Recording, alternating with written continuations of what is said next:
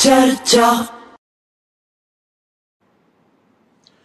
ਸਤਿ ਸ੍ਰੀ ਅਕਾਲ ਦੋਸਤੋ ਮੈਂ ਦਰਸ਼ਨ ਸਿੰਘ ਦਰਸ਼ਕ ਚਰਚਾ ਪ੍ਰੋਗਰਾਮ ਲੈ ਕੇ ਹਾਜ਼ਰ ਹਾਂ ਖਾਲਸਾ ਏਡ ਇੱਕ ਕੌਮਾਂਤਰੀ ਸਮਾਜ ਸੇਵੀ ਸੰਸਥਾ ਦੁਨੀਆ ਦੇ ਵਿੱਚ ਕਿਤੇ ਵੀ ਕੁਦਰਤੀ ਆਫਤ ਆ ਜਾਵੇ ਕੋਈ ਵੀ ਮਨੁੱਖ ਸੰਕਟ ਦੇ ਵਿੱਚ ਹੋਵੇ ਤਾਂ ਇਹ ਉੱਥੇ ਖਾਲਸਾ ਏਡ ਪਹੁੰਚ ਜਾਂਦੀ ਹੈ ਕੋਈ ਵੀ ਮੁਲਕ ਹੋਵੇ ਜਿੱਥੇ ਵੀ ਅਸੀਂ ਚਾਹੇ ਅਫਗਾਨਿਸਤਾਨ ਹੋਵੇ, ਸੀਰੀਆ ਹੋਵੇ ਤੇ ਹੋਰ ਵੀ ਬਹੁਤ ਸਾਰੇ ਦੇਸ਼ ਨੇ ਤੇ ਜਿੱਥੇ ਜਿੱਥੇ ਅਸੀਂ ਦੇਖਿਆ ਕਿ ਮਨੁੱਖਤਾ ਨੂੰ ਲੋੜ ਹੈ ਅੱਜ ਵੀ ਸਹਾਇਤਾ ਦੀ ਲੋੜ ਹੈ, ਤਾਂ ਖਾਲਸਾ ਏਡ ਵਾਲੇ ਪਹੁੰਚ ਜਾਂਦੇ ਆ। ਕਹਿਣ ਨੂੰ ਇਹ ਸਿੱਖ ਸੰਸਥਾ ਹੈ, ਪਰ ਇਸ ਨੇ ਕਦੇ ਵੀ ਕਿਸੇ ਵੀ ਧਰਮ ਦੇ ਨਾਲ ਵਿਤਕਰਾ ਨਹੀਂ ਕੀਤਾ। ਕਿਸੇ ਵੀ ਫਿਰਕੇ ਨਾਲ ਮਜ਼ਬਾ ਵਿਤਕਰਾ ਨਹੀਂ ਕੀਤਾ। ਹਰ ਇੱਕ ਦੇ ਲਈ ਸਹਾਇਤਾ ਦੇਣ ਲਈ ਹਾਜ਼ਰ ਹੈ। ਪੰਜਾਬ ਦੇ ਵਿੱਚ ਇਸ ਸਮੇਂ ਹੜ੍ਹ ਆਏ ਹੋਏ ਨੇ। ਖਾਲਸਾ ਏਡ ਦੇ ਜਵਾਨ ਵਲੰਟੀਅਰ ਥਾਂ ਥਾਂ ਤੇ ਜਾ ਕੇ ਲੋਕਾਂ ਦੀ ਸਹਾਇਤਾ ਕਰਦੇ ਨੇ। ਜਦੋਂ ਕਿਸਾਨ ਅੰਦੋਲਨ ਹੋਇਆ ਤਾਂ ਖਾਲਸਾ ਏਡ ਦੇ ਲੋਕਾਂ ਨੇ ਜਿਹੜੇ ਵਲੰਟੀਅਰ ਸੀਗੇ ਜਾਂ ਅਹੁਦੇਦਾਰ ਸੀਗੇ, ਉਹਨਾਂ ਨੇ ਕਿਸਾਨਾਂ ਦੀ ਸਹਾਇਤਾ ਕੀਤੀ। ਇਹ ਸਹਾਇਤਾ ਚੱਲਦੀ ਰਹਿੰਦੀ ਹੈ। ਇਸੇ ਗੱਲ ਕਰਕੇ ਪੂਰੀ ਦੁਨੀਆ ਦੇ ਧਰਮਾਂ ਦੇ ਲੋਕ ਇਸ ਦਾ ਮਾਣ ਕਰਦੇ ਨੇ, ਸਤਿਕਾਰ ਕਰਦੇ ਨੇ।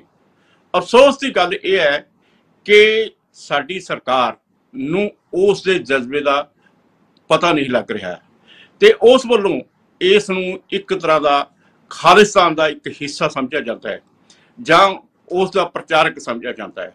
ਤੇ ਇਸ ਗੱਲ ਕਰਕੇ ਇਸ ਦੇ ਜਿਹੜੇ ਅਧਿਕਾਰੀ ਨੇ ਜਾਂ ਏਸ਼ੀਆ ਦੇ ਜਿਹੜੇ ਪ੍ਰਧਾਨ ਨੇ ਅਮਨਪ੍ਰੀਤ ਸਿੰਘ, ਉਹਨਾਂ ਦੇ ਘਰ ਦੇ ਉੱਤੇ ਛਾਪਾ ਮਾਰਿਆ ਹੋਇਆ। ਇਹੀ ਨਹੀਂ, ਸਰਕਾਰ ਵੱਲੋਂ ਜਿਹੜੇ ਵੀ ਸਿੱਖ ਚਾਹੇ ਕੌਮਾਂਤਰੀ ਪੱਧਰ ਦੇ ਨੇ, ਚਾਹੇ ਵਿਦੇਸ਼ਾਂ ਵਿੱਚ ਵਸਦੇ ਨੇ, ਉਹਨਾਂ ਵੱਲੋਂ ਵੀ ਜੇਕਰ ਮਨੁੱਖੀ ਅਧਿਕਾਰਾਂ ਦੀ ਗੱਲ ਕੀਤੀ ਜਾਂਦੀ ਹੈ, ਤਾਂ ਉਹਨਾਂ ਨੂੰ ਵੀ ਸਰਕਾਰ ਵੱਲੋਂ ਤੰਗ ਕੀਤਾ ਜਾਂਦਾ ਹੈ।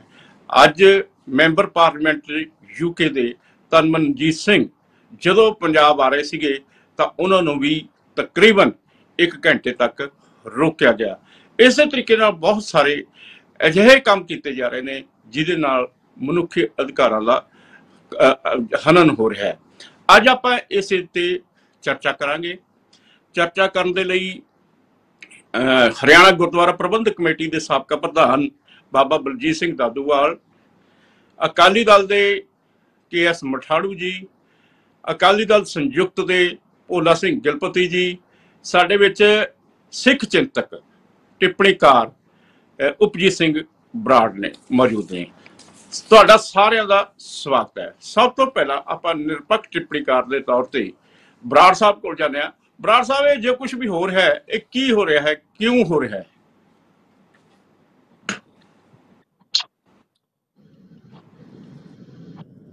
ਤੇ ਚਾਰਟਰ ਬਰਾੜ ਸਾਹਿਬ, ਆਵਾਜ਼ ਨਹੀਂ ਆ ਰਹੀ। ਹਾਂਜੀ ਚਲੋ। ਯੂਐਨਓ ਦੇ ਮਨੁੱਖੀ ਅਧਿਕਾਰਾਂ ਦਾ ਜਿਹੜਾ ਚਾਰਟਰ ਆ, ਯੂਐਨਓ ਦੇ ਵਿੱਚ, ਉਹਦੇ ਚ ਮਾਨਸ ਕੀ ਜਾਤ ਸਭੇ ਏਕੋ ਪਹਿਚਾਨਵੋ ਬਕਾਇਦਾ ਅੰਕਿਤ ਕੀਤਾ ਹੋਇਆ ਹੈ। ਤੇ ਇਹ ਗੁਰੂ ਸਾਹਿਬ ਦਾ ਸੰਦੇਸ਼ ਆ ਸਮੁੱਚੀ ਮਨੁੱਖਤਾ ਦੇ ਲਈ।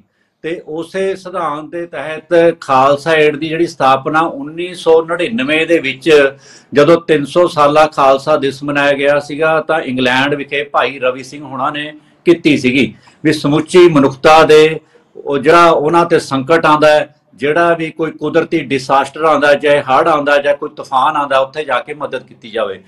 ਤੁਸੀਂ ਦੇਖੋ ਵੀ ਆਈਐਸਆਈਐਸ ਦਾ ਜਦ ਪੂਰਾ ਕਹਿਰ ਸੀਗਾ ਇਰਾਕ ਦੇ ਵਿੱਚ, ਤਾਂ ਉਸ ਸਮੇਂ ਵੀ ਇਹਨਾਂ ਨੇ ਉੱਥੇ ਮਦਦ ਕੀਤੀ ਸੀਰੀਆ ਦੇ, ਜਿਹੜੇ ਜੰਗ ਜੰਗ ਦੇ ਵਿੱਚ ਜਿਨ੍ਹਾਂ ਦਾ ਬਹੁਤ ਵੱਡਾ ਉੱਥੇ ਜ਼ੁਲਮ ਹੋ ਰਿਹਾ ਸੀਗਾ, ਉੱਥੇ ਵੀ ਮਦਦ ਕੀਤੀ। ਮਰੀਸ਼ੀਅਸ 'ਚ ਵੀ ਮਦਦ ਕੀਤੀ, ਫਲਵਾਈਨ 'ਚ ਵੀ ਕੀਤੀ। ਇੰਗਲੈਂਡ ਦੇ ਵਿੱਚ 2016 ਦੇ ਵਿੱਚ, ਹੜ੍ਹਾਂ ਦੇ ਵਿੱਚ ਜੋ ਇਹਨਾਂ ਨੇ ਕੰਮ ਕੀਤਾ, ਉਹ ਕਾਬਲੇ ਮਿਸਾਲ ਆ, ਜਿਸ ਕਰਕੇ ਇੰਗਲੈਂਡ ਦੇ ਪਾਰਲੀਮੈਂਟ ਦੇ ਵਿੱਚ ਇਹਨਾਂ ਦਾ ਸਨਮਾਨ ਵੀ ਕੀਤਾ ਗਿਆ। ਅਮਰੀਕਾ ਦੇ ਵਿੱਚ, ਕੈਨੇਡਾ ਦੇ ਵਿੱਚ ਈਵਨ ਇੱਥੋਂ ਤੱਕ ਕਿ ਪਾਕਿਸਤਾਨ ਦੇ ਵਿੱਚ ਵੀ ਪਿੱਛੇ ਜੇ ਬਹੁਤ ਮਦਦ ਕੀਤੀ ਗਈ।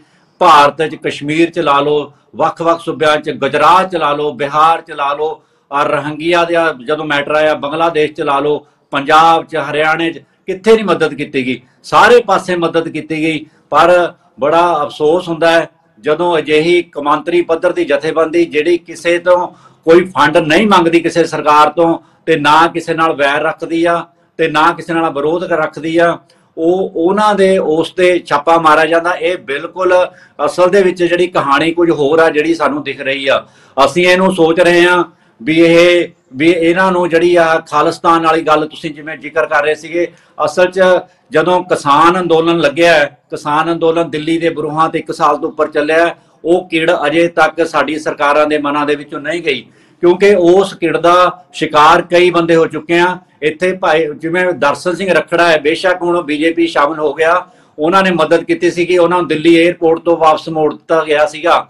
ਇਸੇ ਇਸੇ ਤਰੀਕੇ ਨਾਲ ਇੱਕ ਯੂਐਸਏ ਦਾ ਪੱਤਰਕਾਰ ਅੰਗਦ ਸਿੰਘ ਸੀਗਾ ਜਿਨੇ ਡਾਕੂਮੈਂਟਰੀ ਬਣਾਤੀ ਸੀਗੀ, ਉਹਨੂੰ ਵੀ ਮੋੜ ਦਿੱਤਾ ਗਿਆ ਸੀਗਾ। ਤੇ ਲਗਾਤਾਰ ਉਸ ਸਮੇਂ ਖਾਲਸਾ ਏਡ ਦੇ ਫੰਡਾਂ ਤੇ ਜ਼ਿਕਰ ਕੀਤਾ ਜਾਂਦਾ ਸੀਗਾ ਵੀ ਇਹਨਾਂ ਨੂੰ ਕੋਈ ਅੱਤਵਾਦੀ ਸੰਸਥਾਵਾਂ ਇਹਨਾਂ ਦੀ ਮਦਦ ਕਰ ਰਹੀਆਂ ਤੇ ਖਾਲਸਾ ਏਡ ਤੇ ਟਾਰਗੇਟ ਕੀਤਾ ਜਾਂਦਾ ਸੀਗਾ। ਇਹ ਅੱਜ ਉਸ ਸਮੇਂ ਕਿਉਂ ਕੀਤਾ ਗਿਆ, ਇਹ ਵੀ ਦੇਖਣ ਵਾਲੀ ਗੱਲ ਆ, ਕਿਉਂਕਿ ਜਦੋਂ ਇਹ ਹੜ੍ਹ ਆਏ ਆ, ਇਹ ਦ- 10 ਤੇ 11 ਤਰੀਕ ਨੂੰ ਪੰਜਾਬ ਦੀ ਧਰਤੀ ਤੇ ਜਾਂ ਕੁਝ ਹਰਿਆਣੇ ਦੇ ਵਿੱਚ ਉਸ ਸਮੇਂ ਤੁਹਾਡੇ ਹੀ ਚੈਨਲ ਤੋਂ ਇਹ ਗੱਲ ਕਹੀ ਗਈ ਸੀਗੀ ਵੀ 1611 ਫੁੱਟ ਦਾ ਪਾਣੀ ਆ ਤੇ ਉਸ ਸਮੇਂ ਰਾਤ ਨੂੰ ਜਿਹੜੇ ਦਰਵਾਜ਼ੇ ਖੋਲੇ ਜਿਸ ਆ ਰਾਜਸਥਾਨ ਦੀਆਂ ਨਹਿਰਾਂ ਬੰਦ ਹੋਈਆਂ, ਹਰਿਆਣੇ ਦੀਆਂ ਨਹਿਰਾਂ ਬੰਦ ਹੋਈਆਂ, ਪੰਜਾਬ ਦੇ ਵਿੱਚ ਹੜੇ ਹੜ ਆ ਗਏ, ਤਾਂ ਉਹ ਭਾਖੜਾ ਬਿਆਸ ਮੈਨੇਜਮੈਂਟ ਬੋਰਡ ਦੇ ਉਸ ਸਮੇਂ ਦੇ ਜਿਹੜੇ ਕਰਮਚਾਰੀ ਰਿਟਾਇਰਡ ਕਰਮਚਾਰੀਆਂ ਨੇ ਕਿਹਾ ਵੀ ਇਹ ਹੜ ਕੁਦਰਤੀ ਨਹੀਂ ਲਿਆਂਦੇ ਗਏ ਆ। ਤੇ ਇਸ ਤੋਂ ਬਾਵਜੂਦ ਵੀ ਜਿਹੜਾ ਇੱਥੋਂ ਦਾ ਜਿਹੜਾ ਪੰਜਾਬੀ ਭਾਈਚਾਰਾ, ਖਾਸ ਤੌਰ ਤੇ ਸਿੱਖ ਕਮਿਊਨਿਟੀ ਜਿਹੜੀ ਹੜਾਂ ਦੇ ਵਿੱਚ ਪੂਰੀ ਤਰ੍ਹਾਂ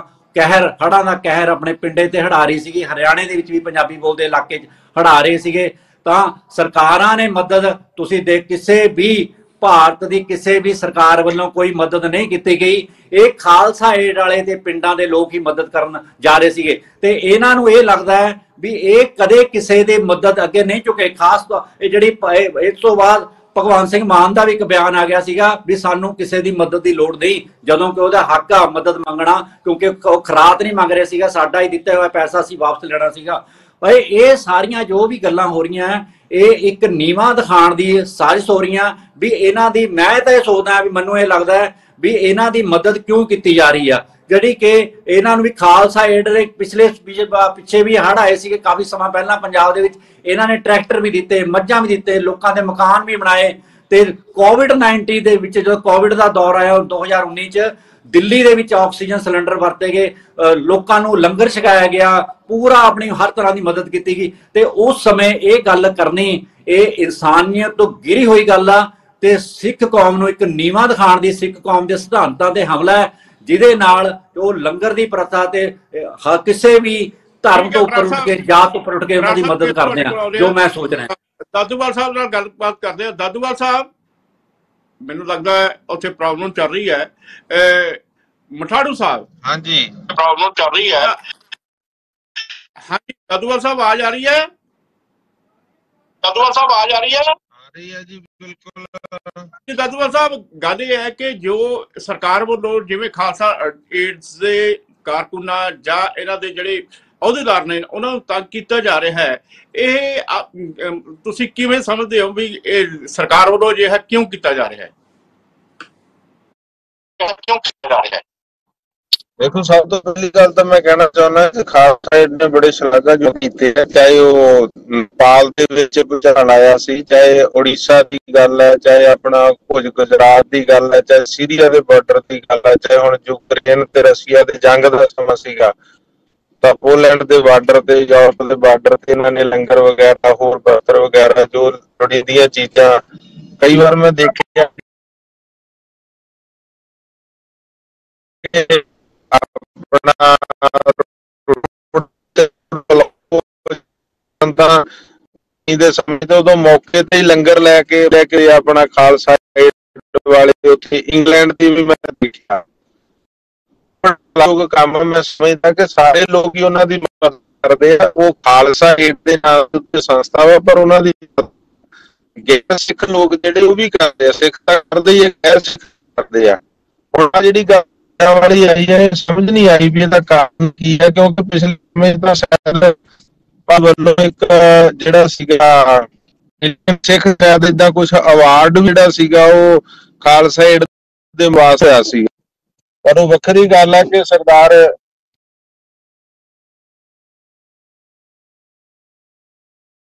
ਦਾਦੂਵਾਲ ਸਾਹਿਬ ਨਾਲ ਸੰਪਰਕ ਟੁੱਟ ਗਿਆ ਪਰ ਇਹ ਹੈ ਕਿ ਜਿਹੜੀ ਖਾਲਸਾ ਏਡ ਵੱਲੋਂ ਲੋਕਾਂ ਦੀ ਸਹਾਇਤਾ ਕੀਤੀ ਜਾਂਦੀ ਹੈ, ਉਸ ਬਾਰੇ ਪੰਜਾਬ ਦੇ ਲੋਕਾਂ ਨੂੰ ਪਤਾ ਹੈ। ਉਹ ਚਾਹੇ ਹਿੰਦੂ ਹੋਣ, ਚਾਹੇ ਸਿੱਖ ਹੋਣ।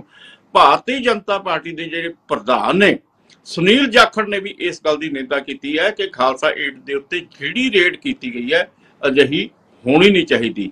ਤੇ ਹੁਣ ਇੱਕ ਇਸ ਜਿਹੜੇ ਹੋਰ ਜਿਹੜੇ ਆਪਣੇ ਮਹਿਮਾਨ ਨੇ, ਉਹਨਾਂ ਤੋਂ ਗੱਲਬਾਤ ਕਰਾਂਗੇ। ਇਸ ਸਮੇਂ ਇੱਕ ਬ੍ਰੇਕ ਦਾ ਸਮਾਂ ਹੋ ਰਿਹਾ ਹੈ। ਲੈਣੇ ਇੱਕ ਬ੍ਰੇਕ ਚਰਚਾ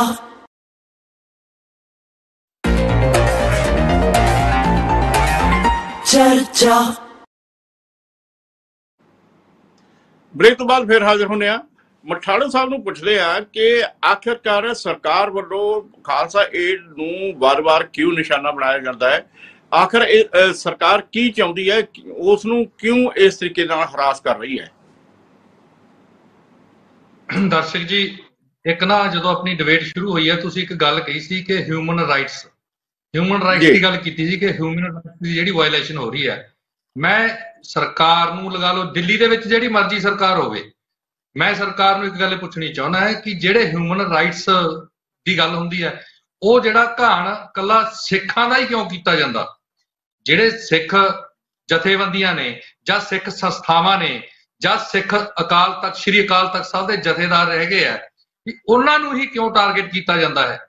ਸੰਸਥਾਵਾਂ ਤਾਂ ਹੋਰ ਵੀ ਬੜੀਆਂ ਹਿੰਦੂ ਸੰਸਥਾਵਾਂ ਬੜੀਆਂ ਹੋਰ ਧਰਮਾਂ ਦੀਆਂ ਬੜੀਆਂ ਸੰਸਥਾਵਾਂ ਨੇ, ਉਹਨਾਂ ਦੇ ਵਿੱਚ ਬਹੁਤ ਬੁੱਧੀਜੀਵੀ ਬੜੇ ਮਹਾਨ ਹਸਤੀਆਂ ਬੈਠੀਆਂ ਨੇ, ਉਹਨਾਂ ਨੂੰ ਕਿਉਂ ਨਹੀਂ ਬੜੀਆਂ ਸੰਸਥਾਵਾਂ ਉਹਨਾਂ ਨੂੰ ਕਿਉਂ ਨਹੀਂ ਟਾਰਗੇਟ ਕੀਤਾ ਜਾਂਦਾ? ਗੱਲ ਇਹ ਵਿਚਾਰਨ ਵਾਲੀ ਕਿ ਹਿਊਮਨ ਰਾਈਟਸ ਜਿਹੜਾ ਹੈਗਾ ਉਹਦੀ ਆਪਾਂ ਕਹਿ ਰਹੇ ਹਾਂ ਕਿ ਹਿਊਮਨ ਰਾਈਟਸ ਹਿਊਮਨ ਰਾਈਟਸ ਤਾਂ ਉਹਦੇ 'ਚ ਤਾਂ ਸਾਰੇ ਆ ਜਾਂਦੇ ਆ ਨਾ, ਪਰ ਵਾਇਲੇਸ਼ਨ ਕੱਲੀ ਸਿੱਖਾਂ ਦੀ ਕਿਉਂ ਹੁੰਦੀ ਹੈ? ਉਹਨਾਂ ਦੇ ਹਿਊਮਨ ਰਾਈਟਸ ਦੀ ਵਾਇਲੇਸ਼ਨ ਕਿਉਂ ਹੁੰਦੀ ਹੈ? ਇਹ ਗੱਲ ਬੜੀ ਡੂੰਘੀ ਗੱਲ ਹੈ ਤੇ ਸੋਚਣ ਵਿਚਾਰਨ ਵਾਲੀ ਗੱਲ ਹੈ। ਔਰ ਮੈਂ ਮਾਨਯੋਗ ਮੁੱਖ ਮੰਤਰੀ ਸਾਹਿਬ ਨੂੰ ਬੇਨਤੀ ਕਰੂੰਗਾ ਉਹਨਾਂ ਨੇ ਵੀ ਸਰਕਾਰ ਪੰਜਾਬ ਸਰਕਾਰ ਨੇ ਵੀ ਨਹੀਂ ਮੂੰਹ ਖੋਲਿਆ ਦਾਦੂਵਾਲ ਸਾਹਿਬ ਚਲੇ ਗਏ ਆ। ਚਲੋ ਉਹਨਾਂ ਦੀ ਤਾਂ ਯਾਰੀ ਹੈ। ਜਿਹੜੀ ਸੈਂਟਰ ਦੀ ਸਰਕਾਰ ਹੈ ਤੇ ਹਰਿਆਣੇ ਦੇ ਵਿੱਚ ਭਾਰਤੀ ਜਨਤਾ ਪਾਰਟੀ ਦੀ ਸਰਕਾਰ ਹੈ। ਸਾਡੇ ਗਿੱਲਪੱਤੀ ਸਾਹਿਬ ਬੈਠੇ ਆ। ਇਹ ਵੀ ਸਰਕਾਰ ਦੇ ਵਿੱਚ ਹੀ ਨੇ ਹੁਣ ਕਿਉਂਕਿ ਸਮਝੌਤਾ ਇਹਨਾਂ ਨੂੰ ਇਸ ਗੱਲ ਦਾ ਜਿਹੜਾ ਹੈਗਾ ਡਟ ਕੇ ਵਿਰੋਧ ਕਰਨਾ ਚਾਹੀਦਾ ਵਿੱਚ ਜਿਹੜੇ ਬੰਦੇ ਬੈਠੇ ਆ। ਸ਼੍ਰੋਮਣੀ ਅਕਾਲੀ ਦਲ ਦਾ ਸਮਝੌਤਾ ਨਹੀਂ ਹੈ। ਕਿਉਂਕਿ ਜੇ ਆਪਾਂ ਦੇਖੀਏ, ਸਭ ਤੋਂ ਪਹਿਲਾਂ ਤੁਸੀਂ ਕਰਤਾਰ ਕੁਸ਼ੀ ਵਾਲੀਆਂ ਜਿਹੜੀਆਂ ਗੱਲਾਂ, ਕੁਝ ਆਪਣੇ ਲੋਕ ਵੀ ਜਿਹੜੇ ਹੈਗੇ ਆ ਨਾਲ ਲੱਗ ਜਾਂਦੇ ਆ, ਉਹਨਾਂ ਨੇ ਬੜੀ ਸੇਵਾ ਭਾਵਨਾ ਕੀਤੀ। ਸਭ ਤੋਂ ਪਹਿਲਾਂ ਤੁਸੀਂ ਸ਼ੁਰੂ ਦੇ ਵਿੱਚ ਦੇਖੋਗੇ, ਇੱਕ ਵਾਰ ਲੰਗਰ ਦੇ ਉੱਪਰ ਜੀਐਸਟੀ ਦੀ ਗੱਲ ਆਈ ਸੀ। ਚਲੋ, ਬਾਅਦ ਦੇ ਵਿੱਚ ਉਸ ਦਾ ਵਿਰੋਧ ਹੋਇਆ। ਸਾਰੀਆਂ ਸੰਸਥਾਵਾਂ ਨੇ ਵਿਰੋਧ ਕੀਤਾ, ਸ਼੍ਰੋਮਣੀ ਅਕਾਲੀ ਦਲ ਨੇ, ਸ਼੍ਰੋਮਣੀ ਗੁਰਦੁਆਰਾ ਪ੍ਰਬੰਧਕ ਕਮੇਟੀ ਨੇ ਵਿਰੋਧ ਕੀਤਾ ਤਾਂ ਉਹ ਗੱਲ ਜਿਹੜੀ ਹੈਗੀ ਹੈ ਵਾਪਸ। ਹੁਣ ਸਰਕਾਰ ਦਿੱਲੀ ਦੇ ਵਿੱਚ ਜਿਹੜੀ ਹੋਵੇ, ਚਾਹੇ ਕਾਂਗਰਸ ਦੀ ਹੋਵੇ, ਚਾਹੇ ਭਾਰਤੀ ਜਨਤਾ ਪਾਰਟੀ ਹੋਵੇ, ਉਹਨਾਂ ਦੀ ਨਜ਼ਰ, ਜਿਹੜਾ ਨਜ਼ਰੀਆ ਹੈ ਨਜ਼ਰੀਆ ਉਹੀ ਰਹਿੰਦਾ ਹਮੇਸ਼ਾ। ਮੈਂ ਇੱਕ ਗੱਲ ਕਹਿਣੀ ਚਾਹਾਂਗਾ ਸਭ ਤੋਂ ਪਹਿਲਾਂ ਮੈਂ ਸ਼ਲਾਘਾ ਕਰਾਂਗਾ ਖਾਲਸਾ ਏਡ ਵਾਲੇ ਜਗ੍ਹਾ ਜਗ੍ਹਾ ਤੇ ਜਾ ਕੇ ਜਿਸ ਤਰ੍ਹਾਂ ਉਹ ਸੇਵਾ ਭਾਵਨਾ ਕਰਦੇ ਹੈਗੇ ਆ। ਅਗਰ ਉਹਨਾਂ ਨੂੰ ਕੋਈ ਗਲਤ ਲੱਗਦਾ ਹੈ ਉਹਦਾ ਇੱਕ ਤਰੀਕਾ ਹੁੰਦਾ ਦਰਸ਼ਕ ਜੀ। ਉਹਦਾ ਇੰਟਰਨਲ ਜਿਹੜਾ ਹੈਗਾ ਇੱਕ ਤਰੀਕਾ ਹੁੰਦਾ ਕਿ ਜਿਵੇਂ ਉਹਨਾਂ ਨੇ ਐਲੀਗੇਸ਼ਨ ਲਗਾ ਦਿੱਤਾ ਸਿੱਧਾ ਹੀ ਐਲੀਗੇਸ਼ਨ ਲਗਾ ਦਿੱਤਾ ਕਿ ਖਾਲਿਸਤਾਨ ਇੱਕ ਤਾਂ ਸਮੱਸਿਆ ਕੀ ਹੈ ਪੰਜਾਬ ਦੇ ਵਿੱਚ ਜੇ ਕੋਈ ਅਹ, ਉੱਭਰ ਕੇ ਕੋਈ ਜਥੇਬੰਦੀ ਜਾਂ ਕੋਈ ਆਪਣੀ ਸੰਸਥਾ ਸੇਵਾ ਭਾਵਨਾ ਦੇ ਰੂਪ ਦੇ ਵਿੱਚ, ਕਿਉਂਕਿ ਆਪਣੇ ਤਾਂ ਗੁਰੂਆਂ ਦਾ ਫਰਮਾਨ ਹੈ, ਆਪਾਂ ਤਾਂ ਸੇਵਾ ਕਰਨੀ ਹੈ। ਸੇਵਾ ਕਰਨਾ ਆਪਣਾ ਧਰਮ ਹੈ।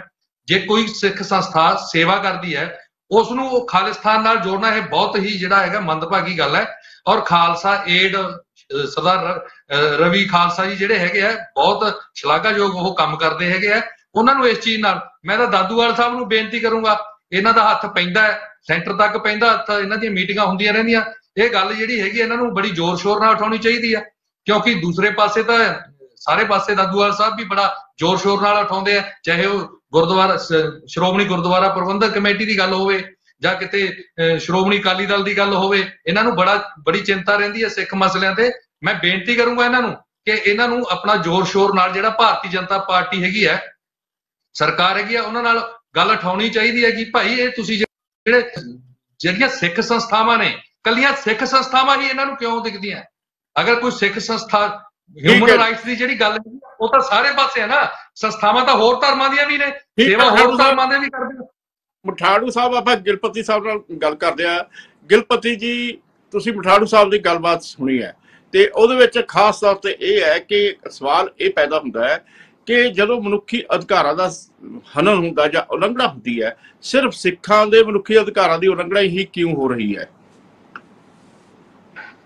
ਸਭ ਤੋਂ ਪਹਿਲਾਂ ਤਾਂ ਮੈਂ ਸਮੁੱਚੀ ਸੰਗਤ ਨੂੰ ਫਤਿਹ ਅਰਜ ਕਰਦਾ ਵਾਹਿਗੁਰੂ ਜੀ ਕਾ ਖਾਲਸਾ ਵਾਹਿਗੁਰੂ ਜੀ ਕੀ ਫਤਿਹ। ਦਰਸ਼ਕ ਜੀ ਮੈਂ ਇਸ ਮਸਲੇ ਨੂੰ ਦੋ ਤਰ੍ਹਾਂ ਨਾਲ ਦੇਖਦਾ ਜੀ। ਇੱਕ ਇਹ ਕਿ ਖਾਲਸਾ ਏਡ ਕੋਈ ਸ਼ੱਕ ਨਹੀਂ ਕਿ ਦੁਨੀਆ ਤੇ ਸਿੱਖਾਂ ਦੀ ਮਾਨਯੋਗ ਇੱਕ ਸੰਸਥਾ ਹੈ। ਜੀ। ਜਿਹੜੀ ਹਰ ਭੀੜ ਦੇ ਮੌਕੇ ਹਰ ਦੁੱਖ ਦੇ ਮੌਕੇ ਦੁਨੀਆ ਦੇ ਹਰ ਕੋਨੇ-ਕੋਨੇ ਤੱਕ ਪਹੁੰਚਦੀ ਹੈ। ਜੀ। ਇਹਦੇ 'ਚ ਕੋਈ ਸ਼ੱਕ ਨਹੀਂ ਦੋ ਰਾਵਾਂ ਨਹੀਂ ਪਰ ਕੁਝ ਤਕਨੀਕੀ ਗੱਲਾਂ ਨੇ ਜਿਹੜੀਆਂ ਨੂੰ ਸਮਝੇ ਬਿਨਾ ਆਪਾਂ ਅੱਗੇ ਨਹੀਂ ਵਧ ਸਕਦੇ। ਕੱਲਾ ਦੂਸ਼ਣਬਾਜ਼ੀ ਲਾਈ ਜਾਈਏ ਇੱਕ ਦੂਜੇ ਨੂੰ ਨੀਵਾ ਦਿਖਾਉਣ ਖਾਤਰ ਆਪਾਂ ਐਲੀਗੇਟ ਕਰੀ ਜਾਈਏ ਇਹ ਵੀ ਕੋਈ ਬਹੁਤੀ ਚੰਗੀ ਗੱਲ ਨਹੀਂ। ਜੀ। ਪੰਜਾਬ ਦੀ ਧਰਤੀ ਤੇ ਕਿਸਾਨੀ ਅੰਦੋਲਨ ਹੋਇਆ ਉਸ ਤੋਂ ਬਾਅਦ ਹੜ੍ਹਾਂ ਦੀ ਮਾਰ ਆਈ ਉਦੋਂ ਬਾਅਦ ਜੇ ਕਿਸੇ ਦੇ ਘਰਾਂ ਨੂੰ ਪ੍ਰੋਬਲਮ ਆਈ ਕੋਈ ਦੁਖੀਆ ਜੀ ਆਇਆ ਤਾਂ ਖਾਲਸਾ ਏਡ ਨੇ ਹਰ ਸਮੇਂ ਮਦਦ ਕੀਤੀ। ਇਹਦੇ 'ਚ ਕੋਈ ਸ਼ੱਕ ਨਹੀਂ ਕਿਸੇ ਨੂੰ ਵੀ। ਪਰ ਇੱਕ ਗੱਲ ਇਹ ਹੈ ਕਿ ਖਾਲਸਾ ਏਡ ਮੈਂ ਹੁਣੇ ਇਹਦੀ ਤਹਿਕੀਕਾਤ ਕਰਕੇ ਥੋੜੀ ਜਿਹੀ ਹਟਿਆ ਸੀ ਕਿ ਪੰਜਾਬ ਇੰਡੀਆ ਦੇ ਵਿੱਚ ਡਾਇਰੈਕਟ ਤੌਰ ਤੇ ਉਹ ਪੈਸਾ ਇਨਵੈਸਟ ਨਹੀਂ ਕਰ ਸਕਦੀ। ਕੁਝ ਤਕਨੀਕੀ ਗੱਲਾਂ ਨੇ। ਤਾਂ ਮੈਂ ਸਮਝਦਾ ਕਿ ਖਾਲਸਾ ਏਡ ਨੂੰ ਸਭ ਤੋਂ ਪਹਿਲਾਂ ਉਹ ਪੈਸਾ ਜੇ ਪੰਜਾਬ ਦੇ ਵਿੱਚ ਹਿੰਦੁਸਤਾਨ ਦੇ ਵਿੱਚ ਉਹਨਾਂ ਨੇ ਲਾਉਣਾ ਹੈ ਜਿਹੜੀਆਂ ਤਕਨੀਕੀ ਨੁਕਸ ਨੇ ਜਾਂ ਕੋਈ ਆਗਿਆ ਲੈਣੀ ਹੈ ਸਟੇਟ ਗਵਰਨਮੈਂਟ ਤੋਂ ਲੈਣੀ ਹੈ ਸੈਂਟਰ ਗਵਰਨਮੈਂਟ ਤੋਂ ਲੈਣੀ ਹੈ ਤਾਂ ਉਹਨੂੰ ਅਹ, ਪੂਰਾ ਕਰਨਾ ਚਾਹੀਦਾ ਹੈ। ਜਿੰਨਾ ਕਿ ਮੈਨੂੰ ਭਰੋਸੇਯੋਗ ਸੂਤਰਾਂ ਤੋਂ ਪਤਾ ਲੱਗਿਆ ਕਿ ਖਾਲਸਾ ਏਡ ਪੰਜਾਬ ਦੇ ਵਿੱਚ ਸਿੱਖ ਨੌਜਵਾਨਾਂ ਦੀਆਂ ਜਿੰਨੇ ਕਿਉਂਕਿ ਹਰ ਨੌਜਵਾਨ ਦੇ ਅੰਦਰ ਇੱਕ ਭਾਵਨਾ ਹੈ ਪੰਜਾਬੀਆਂ ਦੇ ਅੰਦਰ ਖਾਸ ਕਰਕੇ ਇੱਕ ਭਾਵਨਾ ਹੈ ਕਿ ਸੇਵਾ ਭਾਵਨਾ। ਸਾਡੇ ਗੁਰੂਆਂ ਪੀਰਾਂ ਨੇ ਸਾਨੂੰ ਦਿੱਤਾ ਹੈ ਕਿ ਅਸੀਂ ਸੇਵਾ ਕਰਨੀ ਹੈ। ਉਹ ਸੇਵਾ ਦੇ ਸੰਦਰਭ ਦੇ ਵਿੱਚ ਜਦੋਂ ਇਹ ਸੰਸਥਾ ਨਾਲ ਜੁੜਦੇ ਹੈ, ਤਾਂ ਡਾਇਰੈਕਟ ਖਾਲਸਾ ਏਡ ਦਾ ਪੈਸਾ ਇੱਥੇ ਆ ਨਹੀਂ ਸਕਦਾ। ਤਾਂ ਉਹ ਪੈਸਾ ਜਿਹੜਾ ਆਉਂਦਾ ਉਹ ਵੱਖ-ਵੱਖ ਬੰਦਿਆਂ ਦੇ ਇੰਡੀਵਿਜੂਅਲ ਖਾਤਿਆਂ 'ਚ ਤੇ ਇੰਡੀਵਿਜੂਅਲ ਬੰਦਿਆਂ ਕੋਲੋਂ ਆਉਂਦਾ ਤਾਂ ਜਦੋਂ ਉਹ ਪੈਸਾ ਖਰਚਿਆ ਜਾਂਦਾ ਹੈ ਤਾਂ ਆਟੋਮੈਟਿਕ ਹੈ ਕਿ ਜਦੋਂ ਕਿਸੇ ਸੀਮਾ ਤੋਂ ਵੱਧ ਪੈਸਾ ਕਿਸੇ ਦੇ ਵੀ ਖਾਤੇ 'ਚ ਆਊ, ਮੇਰੇ 'ਚ ਆਊ, ਤੁਹਾਡੇ 'ਚ ਆਊ, ਦਾਦੂਵਾਲ ਸਾਹਿਬ ਦੇ ਖਾਤੇ 'ਚ ਆਊ, ਤਾਂ ਉਹਦੀ ਤਹਿਕੀਕਾਤ ਹੁੰਦੀ ਹੈ। ਤਾਂ ਇਸ ਗੱਲ 'ਚ ਵੀ ਮੈਂ ਕੋਈ ਦੋ ਰਾਹ ਨਹੀਂ ਰੱਖਦਾ ਕਿ ਤਰੀਕਾਕਾਰ ਗਲਤ ਹੈ, ਕਿਸੇ ਨੂੰ ਖਾਲਸਤਾਨੀ ਕਹਿ ਦੇਣਾ, ਇਹ ਵੀ ਤਰੀਕਾ ਗਲਤ ਹੈ। ਪਰ ਰਵੀ ਸਿੰਘ ਖਾਲਸਾ ਜਿਹੜੇ ਇੰਨੀ ਮਤਲਬ ਸੇਵਾ ਭਾਵਨਾ ਦਾ ਕੰਮ ਕਰਦੇ ਉਹਨਾਂ ਨੂੰ ਕਿਉਂ ਨਹੀਂ ਸਾਹਮਣੇ ਆ ਕੇ ਗੱਲ ਸਪਸ਼ਟ ਕਰਨੀ ਚਾਹੀਦੀ? ਕਿ ਸਾਡੀ ਸੰਸਥਾ ਜਿਹੜੀ ਇੰਡੀਆ ਦੇ ਵਿੱਚ ਪੈਸਾ ਇਨਵੈਸਟ ਕਰ ਸਕਦੀ ਹੈ ਜਾਂ ਨਹੀਂ ਕਰ ਸਕਦੀ। ਸਾਡੀ ਸੰਸਥਾ ਨੂੰ ਆਗਿਆ ਹੈ ਕਿ ਨਹੀਂ ਹੈ? ਕਿਉਂਕਿ ਜਿਹੜੇ ਨੌਜਵਾਨਾਂ ਦੇ ਖਾਤਿਆਂ 'ਚ ਪੈਸਾ ਆਈ ਜਾਂਦਾ ਉਹ ਨੌਜਵਾਨਾਂ ਨੂੰ ਤਾਂ ਇਸ ਗੱਲ ਦਾ ਪਤਾ ਨਹੀਂ। ਉਹ ਤਾਂ ਵਿਚਾਰੇ ਸੇਵਾ ਭਾਵਨਾ ਨਾਲ ਦਿਨ ਰਾਤ ਲੱਗੇ ਰਹਿੰਦੇ ਆ, ਨਾਲੇ ਤਾਂ ਉਹ ਆਪਦੀ એનર્ਜੀ ਲਾਉਂਦੇ ਆ, ਆਪਦਾ ਘਰ-ਬਾਰ ਛੱਡਦੇ ਆ। ਉਹ ਛੱਡਦੇ ਤਾਂ ਇਸ ਕਰਕੇ ਆ ਨਾ ਲੋਕਾਂ ਦੇ ਦੁੱਖ ਨੂੰ ਉਹ ਆਪਣਾ ਦੁੱਖ ਸਮਝ ਕੇ ਸੇਵਾ ਕਰਦੇ ਆ। ਤੇ ਜੇ ਉਹਨਾਂ ਨੂੰ ਸਮੱਸਿਆਵਾਂ ਖੜੀਆਂ ਹੁੰਦੀਆਂ ਤਾਂ ਮੈਂ ਸਮਝਦਾ ਇਹ ਇਹ ਰਵੀ ਸਿੰਘ ਖਾਲਸਾ ਏਡ ਹੈ ਜਿਹੜੀ ਤੇ ਉਸ ਦੇ ਪ੍ਰਬੰਧਕਾਂ ਦੀ ਜਿਹੜੀ ਗੈਰ ਜ਼ਿੰਮੇਵਾਰੀ ਵਾਲੀ ਗੱਲ ਮੈਨੂੰ ਲੱਗਦੀ ਹੈ ਕਿਉਂਕਿ ਮੈਂ ਤੁਸੀਂ ਹੁਣੇ ਇੱਕ ਵੀਡੀਓ ਸੁਣੋ ਮਾਲਵਿੰਦਰ ਸਿੰਘ ਮਾਲੀ ਨੇ ਅੱਜ ਤੋਂ 2 ਸਾਲ ਪਹਿਲਾਂ ਤੋਂ ਇੱਕ ਰੌਲਾ ਪਾ ਰਿਹਾ ਹੈ। ਉਹਨੇ ਕਿਸਾਨੀ ਅੰਦੋਲਨ ਵੇਲੇ ਵੀ ਪਾਇਆ ਉਦੋਂ ਬਾਅਦ ਵੀ ਪਾਇਆ ਟਿਲ ਡੇਟ ਅੱਜ ਤੱਕ ਉਹ ਪੁੱਛ ਰਿਹਾ ਹੈ ਕਿ ਰਵੀ ਸਿੰਘ ਖਾਲਸਾ ਇਹ ਕਲੀਅਰ ਕਰੇ ਕਿ ਹਿੰਦੁਸਤਾਨ ਦੇ ਵਿੱਚ ਪੈਸਾ ਜਾਂ ਹਿੰਦੁਸਤਾਨ ਦੇ ਵਿੱਚ ਖਾਲਸਾ ਏਡ ਡਾਇਰੈਕਟ ਪੈਸਾ ਲਾ ਸਕਦੀ ਹੈ ਕਿ ਨਹੀਂ ਲਾ ਸਕਦੀ? ਜੀ। ਤਾਂ ਉਹ ਕਿਉਂ ਨਹੀਂ ਬੋਲਦੇ? ਉਹ ਕਿਉਂ ਨਹੀਂ ਬੋਲਦੇ? ਹਾਂ ਇਹ ਗੱਲ ਮੈਂ ਜ਼ਰੂਰ ਮਠਾੜੂ ਸਾਹਿਬ ਨਾਲ ਵੀ ਸਹਿਮਤ ਹਾਂ ਬਰਾੜ ਸਾਹਿਬ ਨਾਲ ਵੀ ਸਹਿਮਤ ਹਾਂ ਦਾਦੂਵਾਲ ਸਾਹਿਬ ਨਾਲ ਵੀ ਸਹਿਮਤ ਹਾਂ ਕਿ ਸਾਡੇ ਨੌਜਵਾਨ ਹੈ ਜਿਹੜੇ ਉਹ ਨਰੋਲ ਤੇ ਨਰੋਲ ਸੇਵਾ ਭਾਵਨਾ ਨਾਲ ਲੱਗੇ ਹੋਏ ਨੇ। ਉਹਨਾਂ ਨੂੰ ਇਹਨਾਂ ਬਰੀਕੀਆਂ ਦਾ ਇਹਨਾਂ ਤਕਨੀਕੀ ਗੱਲਾਂ ਦਾ ਕੋਈ ਗਿਆਨ ਨਹੀਂ। ਜਦੋਂ ਇਸ ਤਰ੍ਹਾਂ ਦੀ ਸਮੱਸਿਆ ਆਉਂਦੀ ਹੈ ਤਾਂ ਅਸੀਂ ਜਿਹੜੀਆਂ ਸਰਕਾਰਾਂ ਨੇ ਉਹਨਾਂ ਤੇ ਖਾਲਿਸਤਾਨ ਦਾ ਜਿਹੜਾ ਆਰੋਪ ਲਾਉਂਦੀਆਂ ਉਹ ਗਲਤ ਹੈ ਇਹ ਨਹੀਂ ਲੱਗਣਾ ਚਾਹੀਦਾ। ਪਰ ਸਾਡੇ ਨੌਜਵਾਨਾਂ ਨੂੰ ਵੀ ਅਵੇਅਰ ਹੋ ਕੇ ਸੇਵਾ ਭਾਵਨਾ 'ਚ ਜੁਟਣਾ ਚਾਹੀਦਾ ਹਰ ਪੱਖ ਤੋਂ ਸਾਨੂੰ ਸੋਚ ਵਿਚਾਰ ਕੇ ਵਕੀਲ ਨੇ ਮਠਾੜੂ ਸਾਹਿਬ ਮੈਂ ਮਠਾੜੂ ਸਾਹਿਬ ਨੂੰ ਬੇਨਤੀ ਕਰਦਾ ਕਿ ਇਸ ਵਿਸ਼ੇ ਤੇ ਇੱਕ ਖੋਜ ਕਰਨ ਕਿ ਕੀ। ਖਾਲਸਾ ਏਡ ਇੰਡੀਆ ਦੇ ਵਿੱਚ ਡਾਇਰੈਕਟ ਪੈਸਾ ਲਾ ਸਕਦੀ ਹੈ ਖਾਲਸਾ ਏਡ ਦੇ ਨਾਂ ਤੇ ਕਿ ਨਹੀਂ ਲਾ ਸਕਦੀ? ਉਹਨੇ ਮਨਜ਼ੂਰੀ ਲਈ ਹੋਈ ਹੈ ਕਿ ਨਹੀਂ ਲਈ ਹੋਈ? ਇਹਦੇ 'ਚ ਕੀ ਸਮੱਸਿਆ ਹੈ? ਕਿਉਂਕਿ ਤੁਹਾਨੂੰ ਜੇ ਖਾਲਸਾ ਏਡ ਦਾ ਪੈਸਾ ਲਾਉਣ ਦੀ ਆਗਿਆ ਨਹੀਂ ਤੇ ਤੁਸੀਂ ਇੰਡੀਵਿਜੂਅਲ ਖਾਤਿਆਂ 'ਚ ਕਿਸੇ ਮੰਨ ਲਓ ਮੈਂ ਤੁਹਾਡੇ ਖਾਤੇ 'ਚ ਪੈਸੇ ਪਾ ਦਿੰਦਾ ਤਾਂ ਜੇ ਮੈਂ ਸੀਮਾ ਤੋਂ ਵੱਧ ਪੈਸੇ ਤੁਹਾਡੇ ਖਾਤੇ 'ਚ ਦਰਸ਼ਕ ਜੀ ਪਾਉਂਗਾ ਤਾਂ ਗਵਰਨਮੈਂਟ ਨੇ ਤੁਹਾਨੂੰ ਵੀ ਪੁੱਛਣਾ ਮੈਨੂੰ ਵੀ ਪੁੱਛਣਾ ਜੀ। ਪੈਸਾ ਕਿੱਥੋਂ ਆਇਆ? ਜੀ। ਪੈਸਾ ਕਿੱਥੋਂ ਆਇਆ? ਇਹ ਤਾਂ ਮੈਨੂੰ ਦੱਸਣਾ ਹੀ ਪਊਗਾ ਵੀ ਪੈਸਾ ਕਿੱਥੋਂ ਆਇਆ। ਠੀਕ ਹੈ ਜੀ। ਇਹ ਤਰੀਕਾ ਗਲਤ ਹੈ ਕਿ ਉਹਨੂੰ ਤਹਿਕੀਕਾਤ ਕਰਨ ਤੋਂ ਪਹਿਲਾਂ ਹੀ ਉਹਨੂੰ ਖਾਲਿਸਤਾਨ ਨਾਲ ਜੋੜ ਦੇਣਾ ਇਸ ਨਾਲ ਮੈਂ ਤੁਹਾਡੇ ਨਾਲ ਸਹਿਮਤ ਹਾਂ। ਧੰਨਵਾਦ ਜੀ। ਠੀਕ ਹੈ ਠੀਕ ਹੈ। ਦਾਦੂਵਾਲ ਸਾਹਿਬ ਫਿਰ ਸਾਡੇ ਨਾਲ ਜੁੜ ਗਏ। ਦਾਦੂਵਾਲ ਸਾਹਿਬ ਜਿਹੜੀ ਤੁਹਾਡੀ ਗੱਲ ਸੀਗੀ ਤੁਸੀਂ ਆਪਣਾ ਪੱਖ ਰੱਖਣਾ ਚਾਹੁੰਦੇ ਸੀਗੇ ਉਸ ਬਾਰੇ ਅੱਗੇ ਤੁਸੀਂ ਗੱਲ ਕੰਟੀਨਿਊ ਕਰ ਲਓ। ਹਾਂ ਮੈਂ ਇਹੀ ਕਹਿ ਰਿਹਾ ਸੀਗਾ ਉੱਥੇ ਥੋੜਾ ਨੈਟਵਰਕ ਹੋ ਗਈ ਮੈਂ ਸਿੱਧੀ ਤਾਂ ਮੈਂ ਮੈਂ ਗੱਡੀ ਖੜਾ ਕੇ ਤੁਹਾਡੇ ਨੈਟਵਰਕ ਟੁੱਟ ਜਾਂਦਾ, ਮੈਂ ਕਹਿ ਰਿਹਾ ਸੀ ਕਿ ਸਮੇਂ ਤੋਂ ਪਹਿਲਾਂ ਕੁਝ ਵੀ ਕਹਿਣਾ ਜਿਹੜਾ ਨਾ, ਉਹ ਸਹੀ ਨਹੀਂ ਹੋਊਗਾ, ਜਿਵੇਂ ਸਰਦਾਰ ਨੇ ਕਿਹਾ। ਦੂਸ਼ਣਬਾਜ਼ੀ ਤਾਂ ਹੋ ਸਕਦੀ ਆ, ਪਰ ਜਿਹੜੀ ਅਸਲੀਅਤ ਆ, ਸਚਾਈ ਆ, ਉਹ ਕੀ ਮਾਰ ਰਹੀ ਆ, ਜਿਹੜੇ ਸ਼ਲਾਘਾਯੋਗ ਅਸੀਂ ਕਹਿੰਦੇ ਆ ਵੱਖਰੀ ਗੱਲ ਆ। ਉਹ ਸਿੱਖਾਂ ਲਈ ਕਰ ਸਕੀ ਕਿ ਨਹੀਂ ਕਰ ਸਕੀ? ਜਿਵੇਂ ਡਾਕਟਰ ਮਨਮੋਹਨ ਸਿੰਘ ਪ੍ਰਧਾਨ ਮੰਤਰੀ ਸੀਗੇ ਦੋ ਵਾਰ ਉਹ ਰਹੇ ਆ ਦੋ ਪਲਾਨ। ਉਹਨਾਂ ਨਾਲ ਦੁਨੀਆ ਤੇ ਇੱਕ ਸਿੱਖ ਦੀ ਪੱਗ ਜਾਂਦੀ ਸੀ ਵੀ ਦੇਖੋ ਜਿਨ੍ਹਾਂ ਦੀ ਗਿਣਤੀ 1.5% ਆ ਉਹਨਾਂ ਦੇ ਵਿੱਚੋਂ ਇੰਡੀਆ ਦਾ ਪ੍ਰਧਾਨ ਮੰਤਰੀ ਆ ਡਾਕਟਰ ਮਨਮੋਹਨ ਸਿੰਘ ਤੇ ਇਮਾਨਦਾਰ ਬੰਦਾ। ਸਾਡੀ ਦੁਨੀਆ ਦੇ ਵਿੱਚ ਇੱਕ ਪਛਾਣ ਬਣਦੀ ਸੀ ਕਿ ਸਿੱਖ ਪ੍ਰਧਾਨ ਮੰਤਰੀ ਆ ਇੰਡੀਆ ਦਾ ਹਨਾ? ਪਰ। ਡਾਕਟਰ ਮਨਮੋਹਨ ਸਿੰਘ ਸਿੱਖਾਂ ਲਈ ਕੁਝ ਕਰ ਸਕੇ ਕਿ ਨਹੀਂ ਕਰ ਸਕੇ ਗੱਲ ਵੱਖਰੀ ਸੀ। ਜੀ। ਸਾਡਾ ਸਾਡਾ ਇੱਕ ਪ੍ਰਭਾਵ ਜਾਂਦਾ ਸੀ ਦੁਨੀਆ 'ਚ ਵੀ ਸਿੱਖ ਗਿਆਨੀ ਜੈਲ ਸਿੰਘ ਰਾਸ਼ਟਰਪਤੀ ਹੈ ਇੰਡੀਆ ਦਾ। ਜੀ। ਫੌਜਾਂ ਦਾ ਜਰਨੈਲ ਜਰਨਲ ਜਿਹੜਾ ਉਹ ਸਿੱਖ ਆ ਇੰਡੀਆ ਦਾ। ਉਹ ਸਿੱਖਾਂ ਲਈ ਕੁਝ ਕਰ ਸਕਿਆ ਕਿ ਨਹੀਂ ਕਰ ਸਕਿਆ ਇਹ ਵੱਖਰਾ ਵਿਸ਼ਾ ਸੀ ਪਰ ਇੱਕ ਪਛਾਣ ਜਾਂਦੀ ਇਸੇ ਤਰ੍ਹਾਂ ਮੈਂ ਖਾਲਸਾ ਏਡ ਲਈ ਕਹਿਣਾ ਚਾਹੂੰਗਾ ਕਿ ਖਾਲਸਾ ਏਡ ਸਿੱਖਾਂ ਲਈ ਵਿਸ਼ੇਸ਼ ਕਰਕੇ ਕੁਝ ਜਿਵੇਂ ਵਿਡੋ ਕਲੋਨੀ ਆ ਦਿੱਲੀ ਦੇ ਅੰਦਰ 84 ਦੀਆਂ ਵਿਧਵਾਵਾਂ ਦੁਨੀਆ 'ਚ ਇੱਕੋ ਇੱਕ ਕਲੋਨੀ ਆ, ਜਿਹੜੀ ਵਿਡੋ ਕਲੋਨੀ, ਵਿਧਵਾ ਕਲੋਨੀ। ਉਹਨਾਂ ਲਈ ਸਰਦਾਰ ਰਵੀ ਸਿੰਘ ਕੁਝ ਕਰ ਸਕੇ ਕਿ ਨਹੀਂ ਕਰ ਸਕੇ? ਪੰਜਾਬ ਦੇ ਵਿੱਚ ਜਿਵੇਂ ਨਸ਼ਿਆਂ ਦਾ ਹੜ ਚੱਲ ਰਿਹਾ, ਨਸ਼ਿਆਂ ਨਾਲ ਨੌਜਵਾਨ ਮਰ ਰਹੇ, ਉਹਨਾਂ ਨੌਜਵਾਨਾਂ ਨੂੰ ਬਚਾਉਣ ਲਈ ਖਾਲਸਾ ਏਡ ਵੱਖਰਾ ਕੁਝ ਕਰ ਸਕੀ ਕਿ ਨਹੀਂ ਕਰ ਸਕੀ? ਕਿਉਂਕਿ ਉਹਨਾਂ ਕੋਲੇ ਅਰਬਾਂ ਦਾ ਬਜਟ ਆ। ਇਹ ਇੱਕ ਵੱਖਰਾ ਵਿਸ਼ਾ, ਪਰ ਮੈਂ ਕਹਿੰਦਾ ਖਾਲਸਾ ਏਡ ਜਦੋਂ ਦੁਨੀਆ ਤੇ ਕੰਮ ਕਰਦੀ ਆ ਤੇ ਉਹਦੇ ਨਾਲ ਸਾਡੀ ਇੱਕ ਪਛਾਣ ਜ਼ਰੂਰ ਜਾਂਦੀ ਆ ਕਿ ਸ਼ਬਦ ਵੀ ਖਾਲਸਾ ਏਡ। ਖਾਲਸਾ ਸ਼ਬਦ ਜਾਂਦਾ, ਫਿਰ ਸਿੱਖ ਜਿਹੜੇ ਆ, ਸਰਦਾਰ ਰਵੀ ਸਿੰਘ ਦਾ ਚਿਹਰਾ, ਮੂਰਾ ਜਿਹੜਾ ਸਿੱਖ ਆ, ਉਹ ਜਾਂਦਾ। ਗੈਰ ਸਿੱਖਾਂ 'ਚ ਵੀ ਸਾਡੀ ਗੱਲ ਜਾਂਦੀ ਆ। ਇਹ ਸਾਡੀ ਪ੍ਰਾਪਤੀ ਆ। ਕਿ ਸਿੱਖਾਂ ਅਸੀਂ ਇਹਨੂੰ ਸਮਝਦੇ ਆ ਕਿ ਇੱਕ ਖਾਲਸਾ ਏਡ ਤੇ ਦੂਜਾ ਸਰਦਾਰ ਰਵੀ ਸਿੰਘ ਜਾਂਦੇ ਆ, ਸਾਨੂੰ ਇਸ ਗੱਲ ਦਾ ਮਾਣ ਆ। ਪਰ ਉਹ ਵਿਸ਼ੇਸ਼ ਕਰਕੇ ਵੱਖਰੇ ਤੌਰ ਤੇ ਸਿੱਖਾਂ ਲਈ ਕੁਝ ਕਰ ਸਕੇ ਕਿ ਨਹੀਂ ਕਰ ਸਕੇ ਇਹ ਵੱਖਰਾ ਵਿਸ਼ਾ। ਤੇ ਜਿਵੇਂ ਸਰਦਾਰ ਭੋਲਾ ਸਿੰਘ ਨੇ ਕਿਹਾ ਕਿ ਜਦੋਂ ਇੱਕ ਸੀਮਾ ਤੋਂ ਵੱਧ ਤੁਹਾਡੇ ਅਕਾਊਂਟ ਵਿੱਚ ਸਾਡੇ ਨੌਜਵਾਨ ਤਾਂ ਸੇਵਾ ਭਾਵਨਾ ਵਾਲੇ, ਉਹ ਤਾਂ ਸੇਵਾ ਕਰ ਰਹੇ, ਉਹਨਾਂ ਨੂੰ ਨਹੀਂ ਪਤਾ ਕਿ ਇਹਦੇ ਤੇ ਇਨਕਮ ਟੈਕਸ ਜਾਂ ਈਡੀ ਜਾਂ ਕੁਛ ਇਹ ਨਿਗਾਹ ਰੱਖਦੀਆਂ ਨੇ ਕਿ ਕਿਹਦੇ ਅਕਾਊਂਟ 'ਚ ਸੀਮਾ ਤੋਂ ਵੱਧ ਪੈਸੇ ਵਿਦੇਸ਼ 'ਚੋਂ ਆ ਰਹੇ ਆ। ਉਹ ਉਸ ਕਾਰਨ ਕਰਕੇ ਇਹੋ ਜੀਆਂ ਗੱਲਾਂ ਵੀ ਕਈ ਵਾਰੀ ਤਕਨੀਕੀ ਪ੍ਰੋਬਲਮਾਂ ਸਾਡੇ ਸਾਹਮਣੇ ਆ ਜਾਂਦੀਆਂ। ਇਹ ਸਰਦਾਰ ਰਵੀ ਸਿੰਘ ਨੂੰ ਸਪਸ਼ਟ ਕਰਨਾ ਚਾਹੀਦਾ ਔਰ ਜੇ ਕੋਈ ਤਕਨੀਕੀ ਨੁਕਸਾ ਤੇ ਉਹਨੂੰ ਕੱਢ ਦੇਣਾ ਚਾਹੀਦਾ ਕਿ ਉਹ ਖੁੱਲਾ ਪੈਸਾ ਜਿਹੜਾ ਹੈਗਾ ਇੱਥੇ ਲੋਕਾਂ ਤੇ ਭਲੇ ਤੇ ਜਾਂ ਕੁਦਰਤੀ ਆਫਤਾਂ ਸਮੇਂ ਖਰਚ ਕਰ ਸਕਣ ਇਹ ਸਰਦਾਰ ਰਵੀ ਸਿੰਘ ਹੋਣਾ ਦੀ ਜ਼ਿੰਮੇਵਾਰੀ ਬਣਦੀ ਹੈ। ਬਿਲਕੁਲ ਬਿਲਕੁਲ ਜਿਵੇਂ ਹੁਣ ਦਾਦੂਵਾਲ ਸਾਹਿਬ ਤੇ ਇਸੇ ਤਰੀਕੇ ਨਾਲ ਭੋਲਾ ਜੀ ਨੇ ਵੀ ਇਹ ਗੱਲ ਕਹੀ ਹੈ ਕਿ ਜੇ ਕੁਝ ਤਕਨੀਕੀ ਕਾਰਨਾਂ ਕਰਕੇ ਜਿਹੜੀ ਤਕਨੀਕੀ ਕਾਰਨਾਂ ਕਰਕੇ ਖਾਲਸਾ ਏਡ ਨੂੰ ਸਮੱਸਿਆਵਾਂ ਆ- ਰਹੀਆਂ ਨੇ ਉਹਨਾਂ ਨੂੰ ਠੀਕ ਕਰਨਾ ਚਾਹੀਦਾ ਦਰੁਸਤ ਕਰਨਾ ਚਾਹੀਦਾ ਹੈ। ਤੇ ਇਹ ਇਹ ਜਿਹੜੀ ਚਰਚਾ ਜਾਰੀ ਰਹੂਗੀ ਹੁਣ ਇੱਕ ਬ੍ਰੇਕ ਦਾ ਸਮਾਂ ਹੋ ਰਿਹਾ ਲੈਣੇ ਇੱਕ ਬ੍ਰੇਕ ਚਰਚਾ।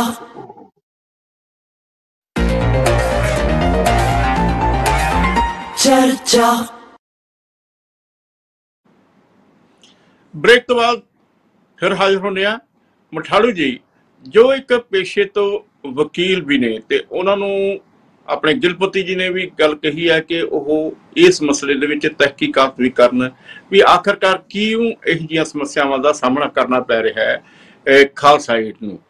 ਤੇ ਦੂਜੇ ਪਾਸੇ ਸਵਾਲ ਇਹ ਵੀ ਹੈ ਕਿ ਕਿ ਕਿਧਰੇ ਇਸ ਸੰਸਥਾ ਨੂੰ ਜਾਂ ਸਿੱਖਾਂ ਨੂੰ ਟਾਰਗੇਟ ਕਰਦੇ ਹੋਏ ਤਾਂ ਨਹੀਂ ਅਜਿਹਾ ਕੁਝ ਹੋ ਰਿਹਾ?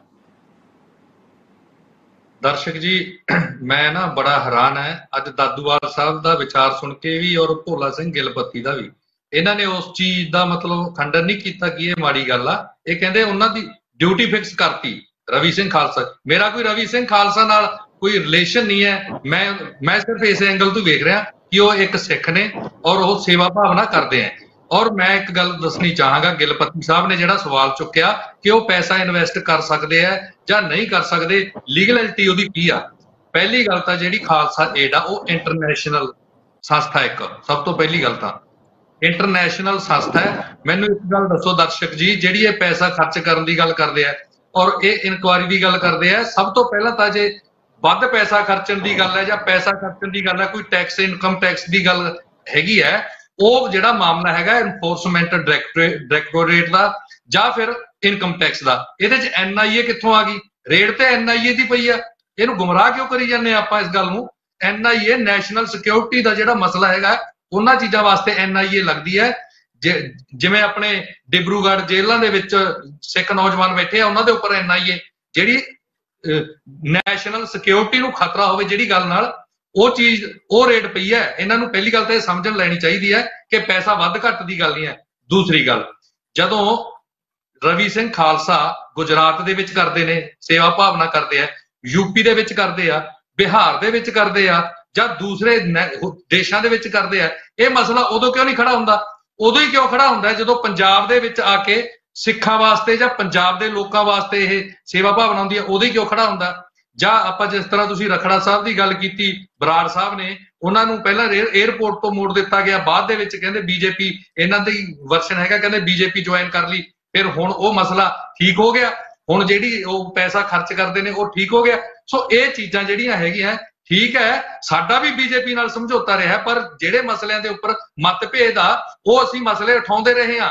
ਸ਼੍ਰੋਮਣੀ ਅਕਾਲੀ ਦਲ ਦਾ ਜਦੋਂ ਜੀਐਸਟੀ ਦਾ ਮਸਲਾ ਉੱਠਿਆ ਸੀ ਲੰਗਰ ਦੇ ਉੱਪਰ, ਦੱਬ ਕੇ ਅਸੀਂ ਉਸ ਦਾ ਵਿਰੋਧ ਕੀਤਾ ਸੀ ਤੇ ਅਸੀਂ ਕਰਦੇ ਰਹੇ। ਠੀਕ ਹੈ, ਤੁਹਾਡੇ ਅੱਜ ਉਹਨਾਂ ਦੇ ਨਾਲ ਮਤ ਮਿਲਦਾ ਹੈ, ਤਾਂ ਤੁਸੀਂ ਉਹਨਾਂ ਦੇ ਮਤਲਬ ਸਾਂਝ ਪਾਈ ਹੋਈ ਆ ਤੁਸੀਂ, ਪਰ ਆਪਾਂ ਜਿਹੜੀ ਸਹੀ ਗੱਲ ਹੈ ਉਸ ਨੂੰ ਸਹੀ ਕਹੀਏ, ਜਿਹੜਾ ਇਹ ਵੱਧ ਪੈਸੇ ਲਿਆਉਣ ਵਾਲਾ ਗਿੱਲਪੱਤੀ ਜੀ, ਪੈਸੇ ਲਾਉਣ ਵਾਲਾ ਕਿ ਪੰਜਾਬ ਦੇ ਵਿੱਚ ਹੀ ਆ ਕੇ ਇਹ ਮਸਲਾ ਉੱਠਦਾ? ਜਦੋਂ ਆਪਾਂ ਪੰਜਾਬ ਦੇ ਵਿੱਚ ਇਨਵੈਸਟ ਕਰਦੇ ਇਹ ਜਦੋਂ ਬਿਹਾਰ ਦੇ ਵਿੱਚ ਉਹਨਾਂ ਨੇ ਕੀਤਾ ਸੀ ਉਸ ਵੇਲੇ। ਸੈਂਟਰ ਸਰਕਾਰ ਨੇ ਇਹ ਨੋਟਿਸ ਕੀਤਾ ਸੀ ਜਾਂ ਇਹ ਚੀਜ਼ਾਂ ਜਿਹੜੀਆਂ ਤੁਸੀਂ ਕਾਨੂੰਨੀ। ਨੋਟਿਸ ਉਲਝਾ ਕੇ ਗਿਲਪਤੀ ਜੀ ਸਿਰਫ ਇਹ ਜਿਹੜਾ ਖਾਸ ਤੌਰ ਤੇ ਆਹ ਆਪਾਂ ਗੱਲ ਜਦੋਂ ਇਹ ਖਾਲਸਾ ਏਡ ਪੰਜਾਬ ਦੀ ਸਹਾਇਤਾ ਕਰਦੀ ਹੈ ਤਾਂ ਇਹ ਉਦੋਂ ਹੀ ਕਿਉਂ ਅਜਿਹੀਆਂ ਰੇਟ ਪੈਂਦੀਆਂ ਨੇ ਇਹ ਇੱਕ ਬਹੁਤ ਮਹੱਤਵਪੂਰਨ ਸਵਾਲ ਹੈ ਮੈਂ ਅਹ, ਮਠਾੜੂ ਸਾਹਿਬ ਨੂੰ ਦੱਸ ਦਿਆਂ ਕਿ ਇਹ ਕਹਿੰਦੇ ਵੀ ਬੀਜੇਪੀ ਨਾਲ ਸ਼ਾਇਦ ਇਹਨਾਂ ਦਾ ਸਮਝੌਤਾ ਕਰਕੇ ਦਾਦੂਵਾਲ ਸਾਹਿਬ ਦਾ ਤੇ ਇਹਨਾਂ ਦਾ ਵੀ ਇਸ ਕਰਕੇ ਉਹਨਾਂ ਦੀ ਹਾਂ ਚ ਹਾਂ ਮਿਲਾਉਂਦੇ ਆ। ਤੇ ਅਸੀਂ। ਸਾਡਾ ਵੀ ਕਹਿੰਦਾ ਕਹਿੰਦੇ ਸਮਝੌਤਾ ਰਿਹਾ ਤੇ ਪਰ ਅਸੀਂ ਕਦੇ ਵੀ ਜਿਹੜੇ ਸਿਧਾਂਤ ਸੀ ਉਹਨਾਂ ਨਾਲ ਸਮਝੌਤਾ ਨਹੀਂ ਕੀਤਾ। ਮਠਾੜੂ ਸਾਹਿਬ ਦੱਸ ਸਕਦੇ ਆ ਕਿ ਜਦੋਂ ਜਿਹੜਾ ਅਕਾਲੀ ਦਲ ਹੈ ਇਹ ਸੰਘੀ ਢਾਂਚੇ ਦੀ ਮੰਗ ਕਰਦਾ ਹੈ ਵੱਧ ਅਧਿਕਾਰਾਂ ਦੀ ਮੰਗ ਕਰਦਾ ਹੈ। ਜਦੋਂ 370 ਧਾਰਾ ਜੰਮੂ ਕਸ਼ਮੀਰ ਚ ਤੋੜੀ ਜਾਈ, ਤੋੜੀ ਗਈ ਸੀ ਤੇ ਇਹਨਾਂ ਨੇ ਹਾਂ ਚਾਹ ਮਲਾਈ ਸੀ ਕਿ ਨਹੀਂ ਮਲਾਈ ਸੀ? ਜਦੋਂ ਕਿਸਾਨੀ ਅੰਦੋਲਨ ਲੜਿਆ ਜਾ ਰਿਹਾ ਸੀ, ਇਹਨਾਂ ਨੇ ਹਾਂ ਚਾਹ ਮਲਾਈ ਸੀ ਕਿ ਨਹੀਂ ਮਲਾਈ ਸੀ? ਇਹੋ ਜਿਹੇ ਅਨੇਕਾਂ ਮੁੱਦੇ ਨੇ। ਜਦੋਂ ਬੰਦੀ ਸਿੰਘ, ਦਵਿੰਦਰਪਾਲ ਭੁੱਲਰ ਹੋਰਾਂ ਨੂੰ ਤੇ ਯੂਪੀ ਬਿਹਾਰ ਦੇ ਵਿੱਚ ਜਿਹੜੇ ਸਾਡੇ ਬੰਦੀ ਸਿੰਘ ਨੇ, ਤੇ ਇਹ ਦੱਸ ਸਕਦੇ ਕਿ ਅਸੀਂ ਕਿੰਨੇ ਵਾਰੀ ਸੈਂਟਰ ਨਾਲ ਗੱਲਬਾਤ ਕੀਤੀ ਛਡਾਉਣ ਵਾਸਤੇ? ਇਹ ਗੱਲਾਂ ਨਾ ਦੂਸ਼ਣਬਾਜ਼ੀ ਹੈ ਦੂਜੀ ਗੱਲ, ਮੈਂ ਮਠਾੜੂ ਸਾਹਿਬ ਨੂੰ ਇੱਕ ਬੇਨਤੀ ਕਰਦਾ ਕਿ ਨਾ ਤਾਂ ਅਸੀਂ ਕਿਸੇ ਦੇ ਸਪੋਕਸਮੈਨ ਆ। ਅਸੀਂ ਉਹ ਗੱਲ ਕਰਾਂਗੇ ਜੋ ਤੱਥਾਂ ਤੇ ਹੈ। ਇੱਕ ਬੇਨਤੀ ਹੈ ਕਿ ਇਹ ਪਹਿਲਾਂ ਜੇ ਮੈਂ ਦਾਦੂਵਾਲ ਸਾਹਿਬ ਨੇ ਕਿਹਾ ਕਿ ਸਮੇਂ ਤੋਂ ਪਹਿਲਾਂ ਕੋਈ ਗੱਲ ਕਰਨੀ, ਇਹ ਵੀ ਮناسب ਨਹੀਂ ਹੁੰਦੀ, ਠੀਕ ਨਹੀਂ ਹੁੰਦੀ, ਵੀ ਇਹ ਤਹਿਕੀਕਾਤ ਕਰਨ ਕਿ ਜਿਹੜੇ ਉਹ ਨੌਜਵਾਨਾਂ ਦੇ ਖਾਤਿਆਂ 'ਚ ਪੈਸੇ ਆਉਂਦੇ ਆ, ਕਿ ਉਹ ਖਾਲਸਾ ਏਡ ਦੇ ਖਾਤਿਆਂ 'ਚੋਂ ਪੈਸੇ ਆਉਂਦੇ ਆ ਕਿ ਪਰਸਨਲ ਖਾਤਿਆਂ 'ਚੋਂ ਪੈਸੇ ਆਉਂਦੇ ਆ? ਜੇ ਤਾਂ ਖਾਲਸਾ ਏਡ ਦੇ ਖਾਤਿਆਂ 'ਚੋਂ ਪੈਸੇ ਆਉਂਦੇ ਆ ਅਸੀਂ ਕਹਿੰਦੇ ਆ ਕਿ ਇਹ ਗਲਤ ਹੈ ਉਹਦੇ ਜੇ ਖਾਲਸਾ ਏਡ ਦੇ ਖਾਤੇ 'ਚੋਂ ਪੈਸੇ ਆਉਂਦੇ ਆ ਨਾ, ਅਸੀਂ ਕਹਿੰਦੇ ਆ ਕਿ ਇਹ ਗਲਤ ਹੈ ਤੇ ਜੇ ਇੰਡੀਵਿਜੂਅਲ ਬੰਦਿਆਂ ਦੇ ਖਾਤਿਆਂ 'ਚੋਂ ਪੈਸੇ ਆਉਂਦੇ ਆ, ਤੁਸੀਂ ਦੱਸੋ ਦਰਸ਼ਕ ਜੀ, ਫਿਰ ਠੀਕ ਹੈ ਕਿ ਗਲਤ ਹੈ ਫਿਰ ਉਹਦੀ ਤਹਿਕੀਕਾਤ ਕਰਨੀ ਬਣਦੀ ਹੈ ਕਿ ਨਹੀਂ ਬਣਦੀ? ਇਹ ਪੈਸੇ ਜਿਹੜੇ ਜਿਹੜੇ ਮੈਂ ਉਹੀ ਗੱਲ ਕਹਿ ਰਿਹਾ ਇਹਨਾਂ ਨੂੰ ਕਿ ਤੁਸੀਂ ਪਹਿਲਾਂ ਸੁਣੋ। 10 ਇੰਟਰਵਿਊਆਂ ਬੰਦਿਆਂ ਦੀਆਂ ਸੁਣੋ ਖਾਲਸਾ ਏਡ ਦੇ ਮਸਲੇ ਤੇ। ਕਿ ਖਾਲਸਾ ਏਡ ਪੰਜਾਬ ਦੇ ਵਿੱਚ ਜਾਂ ਹਿੰਦੁਸਤਾਨ ਦੇ ਵਿੱਚ ਜਿਹੜਾ ਪੈਸਾ ਸਿੱਧਾ ਆਪ ਦੇ ਖਾਤੇ ਚੋਂ ਖਾਲਸਾ ਏਡ ਦੇ ਖਾਤੇ ਚੋਂ ਕਿਤੇ ਕੋਈ ਪੈਸਾ ਲਾਉਂਦੀ ਹੋਵੇ ਤਾਂ ਦੱਸੋ। ਉਹਨੂੰ ਮਨਜ਼ੂਰੀ ਨਹੀਂ। ਉਹ ਪੈਸੇ ਇੰਡੀਵਿਜੂਅਲ ਬੰਦਿਆਂ ਦੇ ਖਾਤਿਆਂ ਚੋਂ ਭੇਜਦੇ ਆ। ਜੀ। ਠੀਕ ਹੈ? ਜਦੋਂ ਇੰਡੀਵਿਜੂਅਲ ਬੰਦਿਆਂ ਦੇ ਖਾਤਿਆਂ ਚੋਂ ਭੇਜਦੇ ਆ ਉਹ ਕਿਸ ਕਿਸ ਤਰ੍ਹਾਂ ਦੇ ਲੋਕਾਂ ਦੇ ਖਾਤਿਆਂ ਚੋਂ ਪੈਸੇ ਆਉਂਦੇ ਆ? ਜਿਵੇਂ ਹੁਣ ਮੰਨ ਲਓ ਮੈਂ ਸੇਵਾ ਕਰਨੀ ਹੈ। ਮੈਨੂੰ ਦਾਦੂਵਾਲੇ ਸਾਹਿਬ ਨੇ ਬੇਨਤੀ ਕਰਤੀ ਕਿ ਫਲਾਣੇ ਥਾਂ ਤੇ ਤੁਸੀਂ ਸੇਵਾ ਕਰੋ। ਮੇਰੇ ਕੋਲੇ ਪੈਸਾ ਠੀਕ ਆਇਆ ਗਲਤ ਆਇਆ ਮੈਂ ਉਹ ਪੈਸਾ ਉੱਥੇ ਕਿਸੇ ਨੌਜਵਾਨ ਮੁੰਡੇ ਦੇ ਖਾਤੇ 'ਚ ਪਾਤਾ। ਦਾਦੂਵਾਲ ਸਾਹਿਬ ਨੇ ਤਾਂ ਸੇਵਾ ਭਾਵਨਾ ਨਾਲ ਕਿਹਾ ਮੈਨੂੰ ਕਿ ਤੁਸੀਂ ਪੈਸੇ ਭੇਜ ਦਿਓ ਪਰ ਉਹ ਪੈਸਾ। ਮੇਰੇ ਕੋਲੇ ਕਿੱਥੋਂ ਆਇਆ? ਇਹ ਰੌਲਾ ਇਹ ਹੈ ਕਿ ਮੈਂ ਜਿਹੜੀ ਮਠਾੜੂ ਸਾਹਿਬ ਨੂੰ ਬੇਨਤੀ ਕਰਦੇ ਆ ਇਹ ਨਾ ਪੋਲੀਟੀਕਲ ਐਂਗਲ ਤੋਂ ਲੈ ਜਾਂਦੇ ਆ ਕਿਉਂਕਿ ਇੱਥੇ ਇੱਕ ਸਮਾਜ ਸੇਵੀ ਜਥੇਬੰਦੀ ਦੀ ਗੱਲ ਕਰ ਰਹੇ ਆ। ਉਸ ਜਥੇਬੰਦੀ ਦੀ ਗੱਲ ਕਰ ਰਹੇ ਹਾਂ, ਜਿਹੜੀ ਦੁਨੀਆ ਦੇ ਨਕਸ਼ੇ ਤੇ ਸਿੱਖਾਂ ਦੀ ਸ਼ਾਨੋ ਸ਼ੌਕਤ ਦੀ ਇੱਕ ਮਿਸਾਲ ਹੈ। ਤਾਂ ਜਦੋਂ ਅਸੀਂ ਇਹੋ ਜੀ ਸ਼ਾਨ ਵਾਲੀ ਜਥੇਬੰਦੀ ਦੀ ਗੱਲ ਕਰਦੇ ਆ ਤਾਂ ਉਹਦੇ ਵਿੱਚ ਜੇ ਕੋਈ ਕਮੀਆਂ ਪੇਚੀਆਂ ਜਾਂ ਕਿਤੇ ਤਕਨੀਕੀ ਨੁਕਸ ਹੈ, ਤਾਂ ਉਹੀ ਮੰਗ ਅਸੀਂ ਇਹ ਕਰਦੇ ਹਾਂ ਕਿ ਰਵੀ ਸਿੰਘ ਖਾਲਸਾ ਨੂੰ ਇਹ ਜਲਦੀ ਤੋਂ ਜਲਦੀ ਲੋਕਾਂ ਦੇ ਸਾਹਮਣੇ ਗੱਲ ਰੱਖਣੀ ਚਾਹੀਦੀ ਹੈ। ਕਿ ਰਵੀ ਸਿੰਘ ਖਾਲਸਾ ਆਉਣ ਔਰ ਟੀਵੀ ਤੇ ਮੀਡੀਆ ਰਾਹੀਂ ਲੋਕਾਂ ਨੂੰ ਸਪਸ਼ਟ ਕਰਨ। ਸਰਕਾਰਾਂ ਨੂੰ ਸਪਸ਼ਟ ਕਰਨ ਕਿ ਇਸ ਖਾਤੇ 'ਚੋਂ ਪੈਸੇ ਆਏ ਆ, ਸਾਡੇ ਪੈਸੇ ਆ, ਲੋਕਾਂ ਦੇ ਡੋਨੇਟ ਕੀਤਾ ਹੋਇਆ ਪੈਸਾ ਇਹ ਕਿਸੇ ਠੱਗ ਚੋਰ ਦਾ, ਕਿਸੇ ਖਾਲਿਸਤਾਨੀ ਦਾ ਪੈਸਾ ਨਹੀਂ ਹੈਗਾ। ਠੀਕ ਹੈ ਨਾ? ਤਾਂ ਅਸੀਂ ਕੀ ਕਰ ਰਹੇ ਹਾਂ? ਅਸੀਂ ਸਿਰਫ ਇਹ ਦੇਖ ਰਹੇ ਹਾਂ ਕਿ ਫਲਾਣਾ ਫਲਾਨੀ ਪਾਰਟੀ ਦਾ, ਫਲਾਣਾ ਫਲਾਨੀ ਪਾਰਟੀ ਦਾ, ਉਸ ਗੱਲ ਨੂੰ ਮੁੱਖ ਰੱਖ ਕੇ ਅਸੀਂ ਦਲੀਲ ਕੱਢ ਰਹੇ ਹਾਂ। ਸਾਨੂੰ ਕਰਨਾ ਇਹ ਚਾਹੀਦਾ ਕਿ ਸਾਡੀ ਇੱਕ ਸਿੱਖਾਂ ਦੀ ਸਨਮਾਨਯੋਗ ਸੰਸਥਾ ਹੈ, ਉਸ ਨੂੰ ਜੇ ਠੇਸ ਪਹੁੰਚਦੀ ਹੈ, ਉਹ ਕਿਉਂ ਪਹੁੰਚਦੀ ਹੈ? ਉਹ ਸਾਰੇ ਪਹਿਲੂਆਂ ਤੇ ਅਸੀਂ ਗੱਲਬਾਤ ਕਰਕੇ, ਵਿਚਾਰ ਕਰਕੇ, ਉਸ ਦੀ ਜੇ ਕਿਤੇ ਕਮੀ ਪੇਸ਼ੀ ਹੈ, ਉਹਨੂੰ ਦੂਰ ਕਰਨਾ ਚਾਹੀਦਾ ਜੇ ਸਰਕਾਰਾਂ ਸਾਡੇ ਨਾਲ, ਚਾਹੇ ਸੈਂਟਰ ਦੀ ਹੋਵੇ, ਚਾਹੇ ਸਟੇਟ ਦੀ ਹੋਵੇ, ਸਾਡੇ ਆਕਸ ਨੂੰ, ਸਾਡੀ ਸੰਸਥਾ ਨੂੰ, ਸਾਡੇ ਸਿਧਾਂਤ ਨੂੰ ਠੇਸ ਪਹੁੰਚਾਉਂਦੀ ਹੈ, ਤਾਂ ਡਟ ਕੇ ਉਹਦਾ ਵਿਰੋਧ ਕਰਨਾ ਚਾਹੀਦਾ ਮੈਂ ਸਭ ਤੋਂ ਪਹਿਲਾ ਬੰਦਾ ਹੋਊਂਗਾ ਮੈਨੂੰ ਲੱਗਦਾ ਦਾਦੂਵਾਲ ਸਾਹਿਬ ਮੇਰੀ ਗੱਲ ਨਾਲ ਸਹਿਮਤ ਹੋਣਗੇ ਕਿ ਅਸੀਂ ਸਭ ਤੋਂ ਪਹਿਲਾਂ ਜਾ ਕੇ ਮੋਹਰੀ ਹੋ ਕੇ ਉਹਦਾ ਵਿਰੋਧ ਕਰਾਂਗੇ। ਜੇ ਸਿੱਖਾਂ ਦੇ ਸਨਮਾਨ ਨੂੰ, ਸਿੱਖਾਂ ਦੇ ਸਿਧਾਂਤ ਨੂੰ ਸਿੱਖਾਂ ਦੀ ਸੰਸਥਾ ਨੂੰ ਸੈਂਟਰ। ਜਾਂ ਸਟੇਟ ਗਵਰਨਮੈਂਟ ਧੱਕਾ ਕਰੂਗੀ ਠੀਕ ਹੈ ਆਪਾਂ ਦਾਦੂਵਾਲ ਸਾਹਿਬ ਨਾਲ ਦਾਦੂਵਾਲ ਸਾਹਿਬ ਗਿਲਪਤੀ ਜੀ ਨੇ ਜੋ ਕੁਝ ਕਿਹਾ ਹੈ ਉਹਦੇ ਵਿੱਚ ਵਿਸ਼ੇਸ਼ ਤੌਰ ਤੇ ਜੇਕਰ ਕਹਦੇ ਆ ਵੀ ਜੇ ਸਿੱਖਾਂ ਦੇ ਸਨਮਾਨ ਨੂੰ ਠੇਸ ਪਹੁੰਚਦੀ ਹੈ ਤਾਂ ਅਸੀਂ ਪਹਿਲ ਦੇ ਆਧਾਰ ਤੇ ਜਿਹੜਾ ਕਿ ਸਿੱਖਾਂ ਦੇ ਖਾਤਰ ਖੜਾਂਗੇ ਤੇ ਚਾਹੇ ਉਹ ਕੋਈ ਵੀ ਸਰਕਾਰ ਕਿਉਂ ਨਾ ਹੋਵੇ ਦਰਸ਼ਨ ਦਰਸ਼ਕ ਜੀ ਮੈਂ ਇੱਕ ਗੱਲ ਕਹਿਣਾ ਚਾਹੁੰਦਾ ਕਿ ਭੋਲਾ ਸਿੰਘ ਗਿਲਪਤੀ ਦੇ ਨਾਲ ਵਿਚਾਰਾਂ ਨਾਲ ਮੈਂ 101% ਸਹਿਮਤ ਹਾਂ। ਐਗਰੀ। ਕਰਦਾ ਜੋ ਉਹਨਾਂ ਨੇ ਕਿਹਾ ਵਾ। ਜਿਹੜੀ ਗੱਲ ਸਪਸ਼ਟ ਕਰਨ ਵਾਲੀ ਆ ਉਹ ਸਰਦਾਰ ਰਵੀ ਸਿੰਘ ਕਰਨ ਤੇ ਜਿਹੜੀ ਕੇਂਦਰ ਸਰਕਾਰ ਦੇ ਸਪਸ਼ਟ ਕਰਨ ਵਾਲੀ ਐਨਆਈਏ ਨੂੰ ਵੀ ਸਪਸ਼ਟ ਕਰਨੀ ਚਾਹੀਦੀ ਹੈ ਕਿ ਉਹ ਲੋਕਾਂ ਦੇ ਸਾਹਮਣੇ ਦੱਸਣ ਕਿ ਕੀ ਖਾਲਿਸਤਾਨ ਦਾ ਪੈਸਾ ਆਇਆ ਜਾਂ ਕੀ ਆ ਕਿਉਂ ਕਿਉਂ ਰੇਟ ਮਾਰੀ ਗਈ ਹੈ। ਜਿੱਥੇ ਸਰਕਾਰ ਨੂੰ ਸਪਸ਼ਟ ਜਾਂ ਐਨਆਈਏ ਨੂੰ ਸਪਸ਼ਟ ਕਰਨ ਦੀ ਲੋੜ ਉੱਥੇ ਐਨਆਈਏ ਕਰੇ। ਜਿੱਥੇ ਖਾਲਸਾ ਏਡ ਨੂੰ ਰਵੀ ਸਿੰਘ ਹੁਣਾਂ ਨੂੰ ਸਪਸ਼ਟ ਕਰਨ ਦੀ ਲੋੜ ਆ, ਉੱਥੇ ਉਹ ਕਰਨ ਜਿਹੜੀ ਦੁੱਧ ਦਾ ਦੁੱਧ ਪਾਣੀ ਦਾ ਪਾਣੀ ਤਾਂ ਹੀ ਹੋ ਸਕਦਾ। ਮੈਂ ਤਾਂ ਹੀ ਪਹਿਲਾਂ ਕਿਹਾ ਸੀ ਕਿ ਕੋਈ ਵੀ ਟੋਟਲ ਜਾਣਕਾਰੀ ਤੋਂ ਪਹਿਲਾਂ, ਸਮੇਂ ਤੋਂ ਪਹਿਲਾਂ ਕਹਿਣ ਵਾਲੀ ਗੱਲ ਆ ਤੇ ਸਮੇਂ ਤੋਂ ਪਹਿਲਾਂ ਗੱਲ ਮੁਨਾਸਬ ਨਹੀਂ ਹੁੰਦੀ। ਖਾਲਸਾ ਏਡ ਸੇਵਾ ਕਰ ਰਹੀ ਹੈ ਕੋਈ ਦੋ ਰਾਵਾਂ ਨਹੀਂ ਆ। ਐਨਆਈਏ ਨੇ ਰੇਡ ਮਾਰੀ ਆ, ਇਹ ਵੀ ਸਾਹਮਣੇ ਆ ਗਈ ਆ। ਕਾਰਨ ਕੀ ਆ, ਦੱਸਿਆ ਜਾਵੇ। ਜੇ ਖਾਲਿਸਤਾਨੀ ਕਹਿ ਕੇ ਕੇਵਲ ਵੀ ਕਾਨੀ ਕਿਉਂ ਕਿਹਾ ਗਿਆ ਕਿਹੜਾ ਪੈਸਾ ਆਇਆ ਵਾ, ਕਿਹਨੇ ਪਾਇਆ ਵਾ, ਸਪਸ਼ਟ ਕੀਤੀ ਜਾਵੇ। ਜਿੱਥੇ ਕੇਂਦਰ ਸਰਕਾਰ ਦੀ ਜਾਂ ਐਨਆਈਏ ਦੀ ਗਲਤੀ ਹੋ ਉੱਥੇ ਉਹਨਾਂ ਨੂੰ ਕਹਾਂਗੇ। ਜਿੱਥੇ ਸਾਡੀ ਸੰਸਥਾ ਦੇ ਵਿੱਚ ਕੋਈ ਤਕਨੀਕੀ ਖਰਾਬੀ ਆ, ਉੱਥੇ ਉਹਨਾਂ ਨੂੰ ਕਹਾਂਗੇ। ਇਹਦੇ 'ਚ ਕੋਈ ਪੋਲੀਟੀਕਲ ਮੈਟਰ ਨਹੀਂ ਆ ਕਿ ਕਿਹੜੀ ਪਾਰਟੀ ਆ, ਕਿਹੜੀ ਪਾਰਟੀ ਨਹੀਂ ਆ। ਪੰਜਾਬ ਸਰਕਾਰ ਕਿਹੜੀ ਪਾਰਟੀ ਦੀ ਆ ਤੇ ਕੇਂਦਰ ਸਰਕਾਰ ਕਿਹੜੀ ਪਾਰਟੀ ਦੀ ਆ। ਹਰ ਵੇਲੇ ਜਿਹੜੀ ਆ ਨਾ, ਉਹ ਰਾਜਨੀਤੀ ਚੰਗੀ ਨਹੀਂ ਹੁੰਦੀ। ਜਿਵੇਂ ਮਠਾਰੂ ਸਾਹਿਬ ਨੇ ਕ- ਗੱਲਾਂ ਕੀਤੀਆਂ ਨੇ ਨਾ। ਮਠਾਰੂ ਸਾਹਿਬ ਹਰ ਗੱਲ ਨੂੰ ਰਾਜਨੀਤੀ ਵਾਲੇ ਪਾਸੇ ਖਿੱਚ ਰਹੇ ਆ। ਅਸੀਂ ਜਿਹੜਾ ਹੈਗੀ ਆ ਬਿਮਾਰੀ ਜਿਹੜੀ ਅਹ, ਹੋਈ ਆ ਅਸੀਂ ਉਹਦੇ ਇਲਾਜ ਵਾਲੇ ਪਾਸੇ ਚੱਲ ਰਹੇ ਆ। ਕਿ ਜਿਹੜਾ ਜਿਹੜਾ ਆਪਣੇ ਸਾਹਮਣੇ ਮੁਸ਼ਕਲ ਆ ਉਹਦੇ ਹੱਲ ਵਾਲੇ ਪਾਸੇ ਜਾਈਏ। ਜਿਵੇਂ ਸਾਡੇ ਸਿੱਖ ਚਿੰਤਕ ਬੈਠੇ ਆ ਇਹਨਾਂ ਨੇ ਆਪਣੇ ਵਿਚਾਰ ਦਿੱਤੇ ਆ। ਅਸੀਂ ਸਾਰੀਆਂ ਸੰਸਥਾਵਾਂ ਗੁਰਦੁਆਰਾ ਕਮੇਟੀਆਂ ਸ਼੍ਰੋਮਣੀ ਗੁਰਦੁਆਰਾ ਪ੍ਰਬੰਧਕ ਕਮੇਟੀ ਆ ਦਿੱਲੀ ਸਿੱਖ ਗੁਰਦੁਆਰਾ ਪ੍ਰਬੰਧਕ ਕਮੇਟੀ ਆ ਹਰਿਆਣਾ ਸਿੱਖ ਗੁਰਦੁਆਰਾ ਪ੍ਰਬੰਧਕ ਕਮੇਟੀ ਆ। ਸੰਤ ਸੰਪਰਦਾਵਾਂ ਨੇ ਮਹਾਪੁਰਸ਼ ਨੇ ਆਪੋ ਆਪਣਾ ਸਾਰੇ ਯੋਗਦਾਨ ਪਾ ਰਹੇ, ਖਾਲਸਾ ਏਡ ਆਪਣਾ ਪਾ ਰਹੀ ਹੈ। ਸਰਕਾਰ ਨੇ 7.5000 ਕਰੋੜ ਕੇਂਦਰ ਸਰਕਾਰ ਨੇ ਜਾਰੀ ਕੀਤਾ ਹੜ ਪੀੜਤਾਂ ਲਈ। 216 ਕਰੋੜ ਹਰਿਆਣੇ ਦੇ ਖਾਤੇ ਆਇਆ 218 ਕਰੋੜ ਪੰਜਾਬ ਵਾਸਤੇ। ਪਰ ਮੈਂ ਸਮਝਦਾ ਬੜਾ ਥੋੜਾ ਵਾ, ਜਿੰਨਾ ਨੁਕਸਾਨ ਹੋਇਆ। ਪੰਜਾਬ ਸਰਕਾਰ ਨੇ ਕਿਹਾ ਕਿ 1500 ਕਰੋੜ ਦਾ ਨੁਕਸਾਨ ਹੋਇਆ 500 ਘਰ ਢਹਿ ਗਿਆ। ਤੇ ਮੁੱਖ ਮੰਤਰੀ ਪੰਜਾਬ ਨੇ ਕਿਹਾ ਕਿ ਜਿਨ੍ਹਾਂ ਦੀਆਂ ਮੁਰਗੀਆਂ ਮਰ ਗਈਆਂ, ਬੱਕਰੀਆਂ ਮਰ ਗਈਆਂ, ਉਹਨਾਂ ਦੇ ਵੀ ਪੈਸੇ ਦੇਾਂਗੇ ਉਹਨਾਂ ਨੇ ਤੇ ਇਥੋਂ ਤੱਕ ਕਿਹਾ ਪਰ। ਮੈਂ ਇੱਕ ਗੱਲ ਕਹਿਣੀ ਚਾਹੁੰਦਾ ਦੇਖੋ ਕਿ ਨੁਕਸੇ ਆਪਾਂ ਨੁਕਸ ਨੂੰ ਦੂਰ ਕਰਨ ਵਾਲੇ ਪਾਸੇ ਹੋ ਜੀ ਦਾ ਬਰਾੜ ਸਾਹਿਬ ਤੁਸੀਂ ਸਾਰੀ ਗੱਲਬਾਤ ਸੁਣੀ ਹੈ ਤੇ ਸ਼ੁਰੂਆਤ ਵੀ ਤੁਹਾਡੇ ਤੋਂ ਕੀਤੀ ਸੀ ਤੇ ਇਹ ਜੋ ਕੁਝ ਵੀ ਹੋ ਰਿਹਾ ਹੈ ਉਹਦੇ ਵਿੱਚ ਇਹ ਗੱਲ ਵੀ ਸਾਹਮਣੇ ਆਈ ਹੈ ਕਿ ਖਾਲਸਾ ਏਡ ਦੀ ਜਿਹੜੀ ਡਾਇਰੈਕਟ ਇਨਵੈਸਟਮੈਂਟ ਨਹੀਂ ਹੋ ਸਕਦੀ।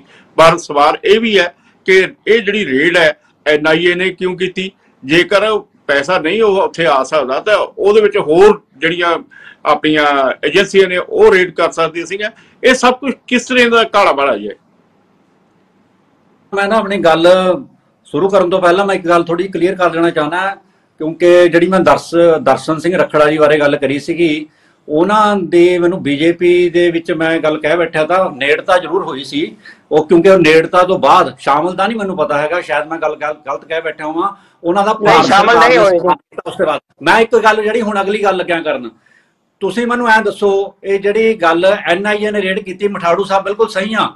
ਇਹ ਕੋਈ ਈਡੀ ਦਾ ਮਸਲਾ ਨਹੀਂ ਹੈਗਾ। ਈਡੀ ਈਡੀ ਜੇ ਈਡੀ ਰੇਡ ਕਰਦੀ, ਜਿਵੇਂ ਗੁੱਲ ਭੋਲਾ ਸਿੰਘ ਗਿਲਪਤੀ ਕਹਿੰਦੇ ਸੀ ਤਾਂ ਈਡੀ ਰੇਡ ਕਰਦੀ। ਨਾਲੇ ਇਹ ਐਡੀ ਵੱਡੀ ਸੰਸਥਾ ਜਿਹੜੀ ਭਾਰਤ ਦੇ ਵਿੱਚ ਮਦਦ ਕਰਦੀ ਹੋਵੇ, ਜਿਹੜੀ ਕਿ ਹਰ ਤਰ੍ਹਾਂ ਚਾਹੇ ਓਡੀਸ਼ਾ ਹੋਵੇ, ਚਾਹੇ ਗੁਜਰਾਤ ਹੋਵੇ, ਚਾਹੇ ਕੋਈ ਵੀ ਭਾਰਤ ਦੀ ਸਟੇਟ ਹੋਵੇ, ਉੱਥੇ ਮਦਦ ਕਰੀ ਹੋਵੇ ਔਰ ਦੁਨੀਆ 'ਚ ਮਦਦ ਕਰੀ ਹੋਵੇ, ਉਹਨੂੰ ਇਸ ਤਰੀਕੇ ਗੈਲ ਬੁਲਾਉਣ ਦਾ, ਉਸ ਤਰੀਕੇ ਗੈਲ ਉਹਦੇ ਘ- ਰੇਡ ਮਾਰਨ ਦਾ ਤਰੀਕਾ ਕੀ ਆ? ਉਹਨੂੰ ਸੰਮਣ ਕਰਕੇ ਵੀ ਬੁਲਾਇਆ ਜਾ ਸਕਦਾ ਸੀਗਾ। ਸਾਡੇ ਕੋਲ ਬਥੇਰੀ ਸੀਆਰਪੀਸੀ ਚ ਅਜਿਹੀਆਂ ਜਿਹੜੀਆਂ ਹੈਗੇ ਕਾਨੂੰਨ ਹੈਗੇ, ਜਿਨ੍ਹਾਂ ਨਾਲ ਉਹਨਾਂ ਨੂੰ ਬੜੀ ਮਾਣ, ਇੱਜ਼ਤ ਦੇ ਨਾਲ ਬੁਲਾਇਆ ਜਾ ਸਕਦਾ। ਜਿਸ ਤਰ੍ਹਾਂ ਪਿੱਛੇ ਜੇ ਹੁਣ ਰੈਸਲਰ ਸੀਗਾ ਰੈਸਲਰਾਂ ਦੇ ਕੇਸ 'ਚ ਜਿਹੜੇ ਬ੍ਰਿਜ ਜੀ ਸੀਗੇ, ਉਹਨਾਂ ਦੇ ਕਿਸੇ ਨੇ ਰੇਡ ਕਰੀ, ਉਹਨਾਂ ਨੂੰ ਬੁਲਾਇਆ ਗਿਆ, ਉਹ ਚਲੇ ਗਏ ਤੇ ਅਦਾਲਤ ਵੱਲੋਂ ਵੀ ਉਹਨਾਂ ਨੂੰ ਪੇਸ਼ੀ ਤੋਂ ਛੋੜ, ਛੋੜ- ਦਿੱਤੀ ਗਈ।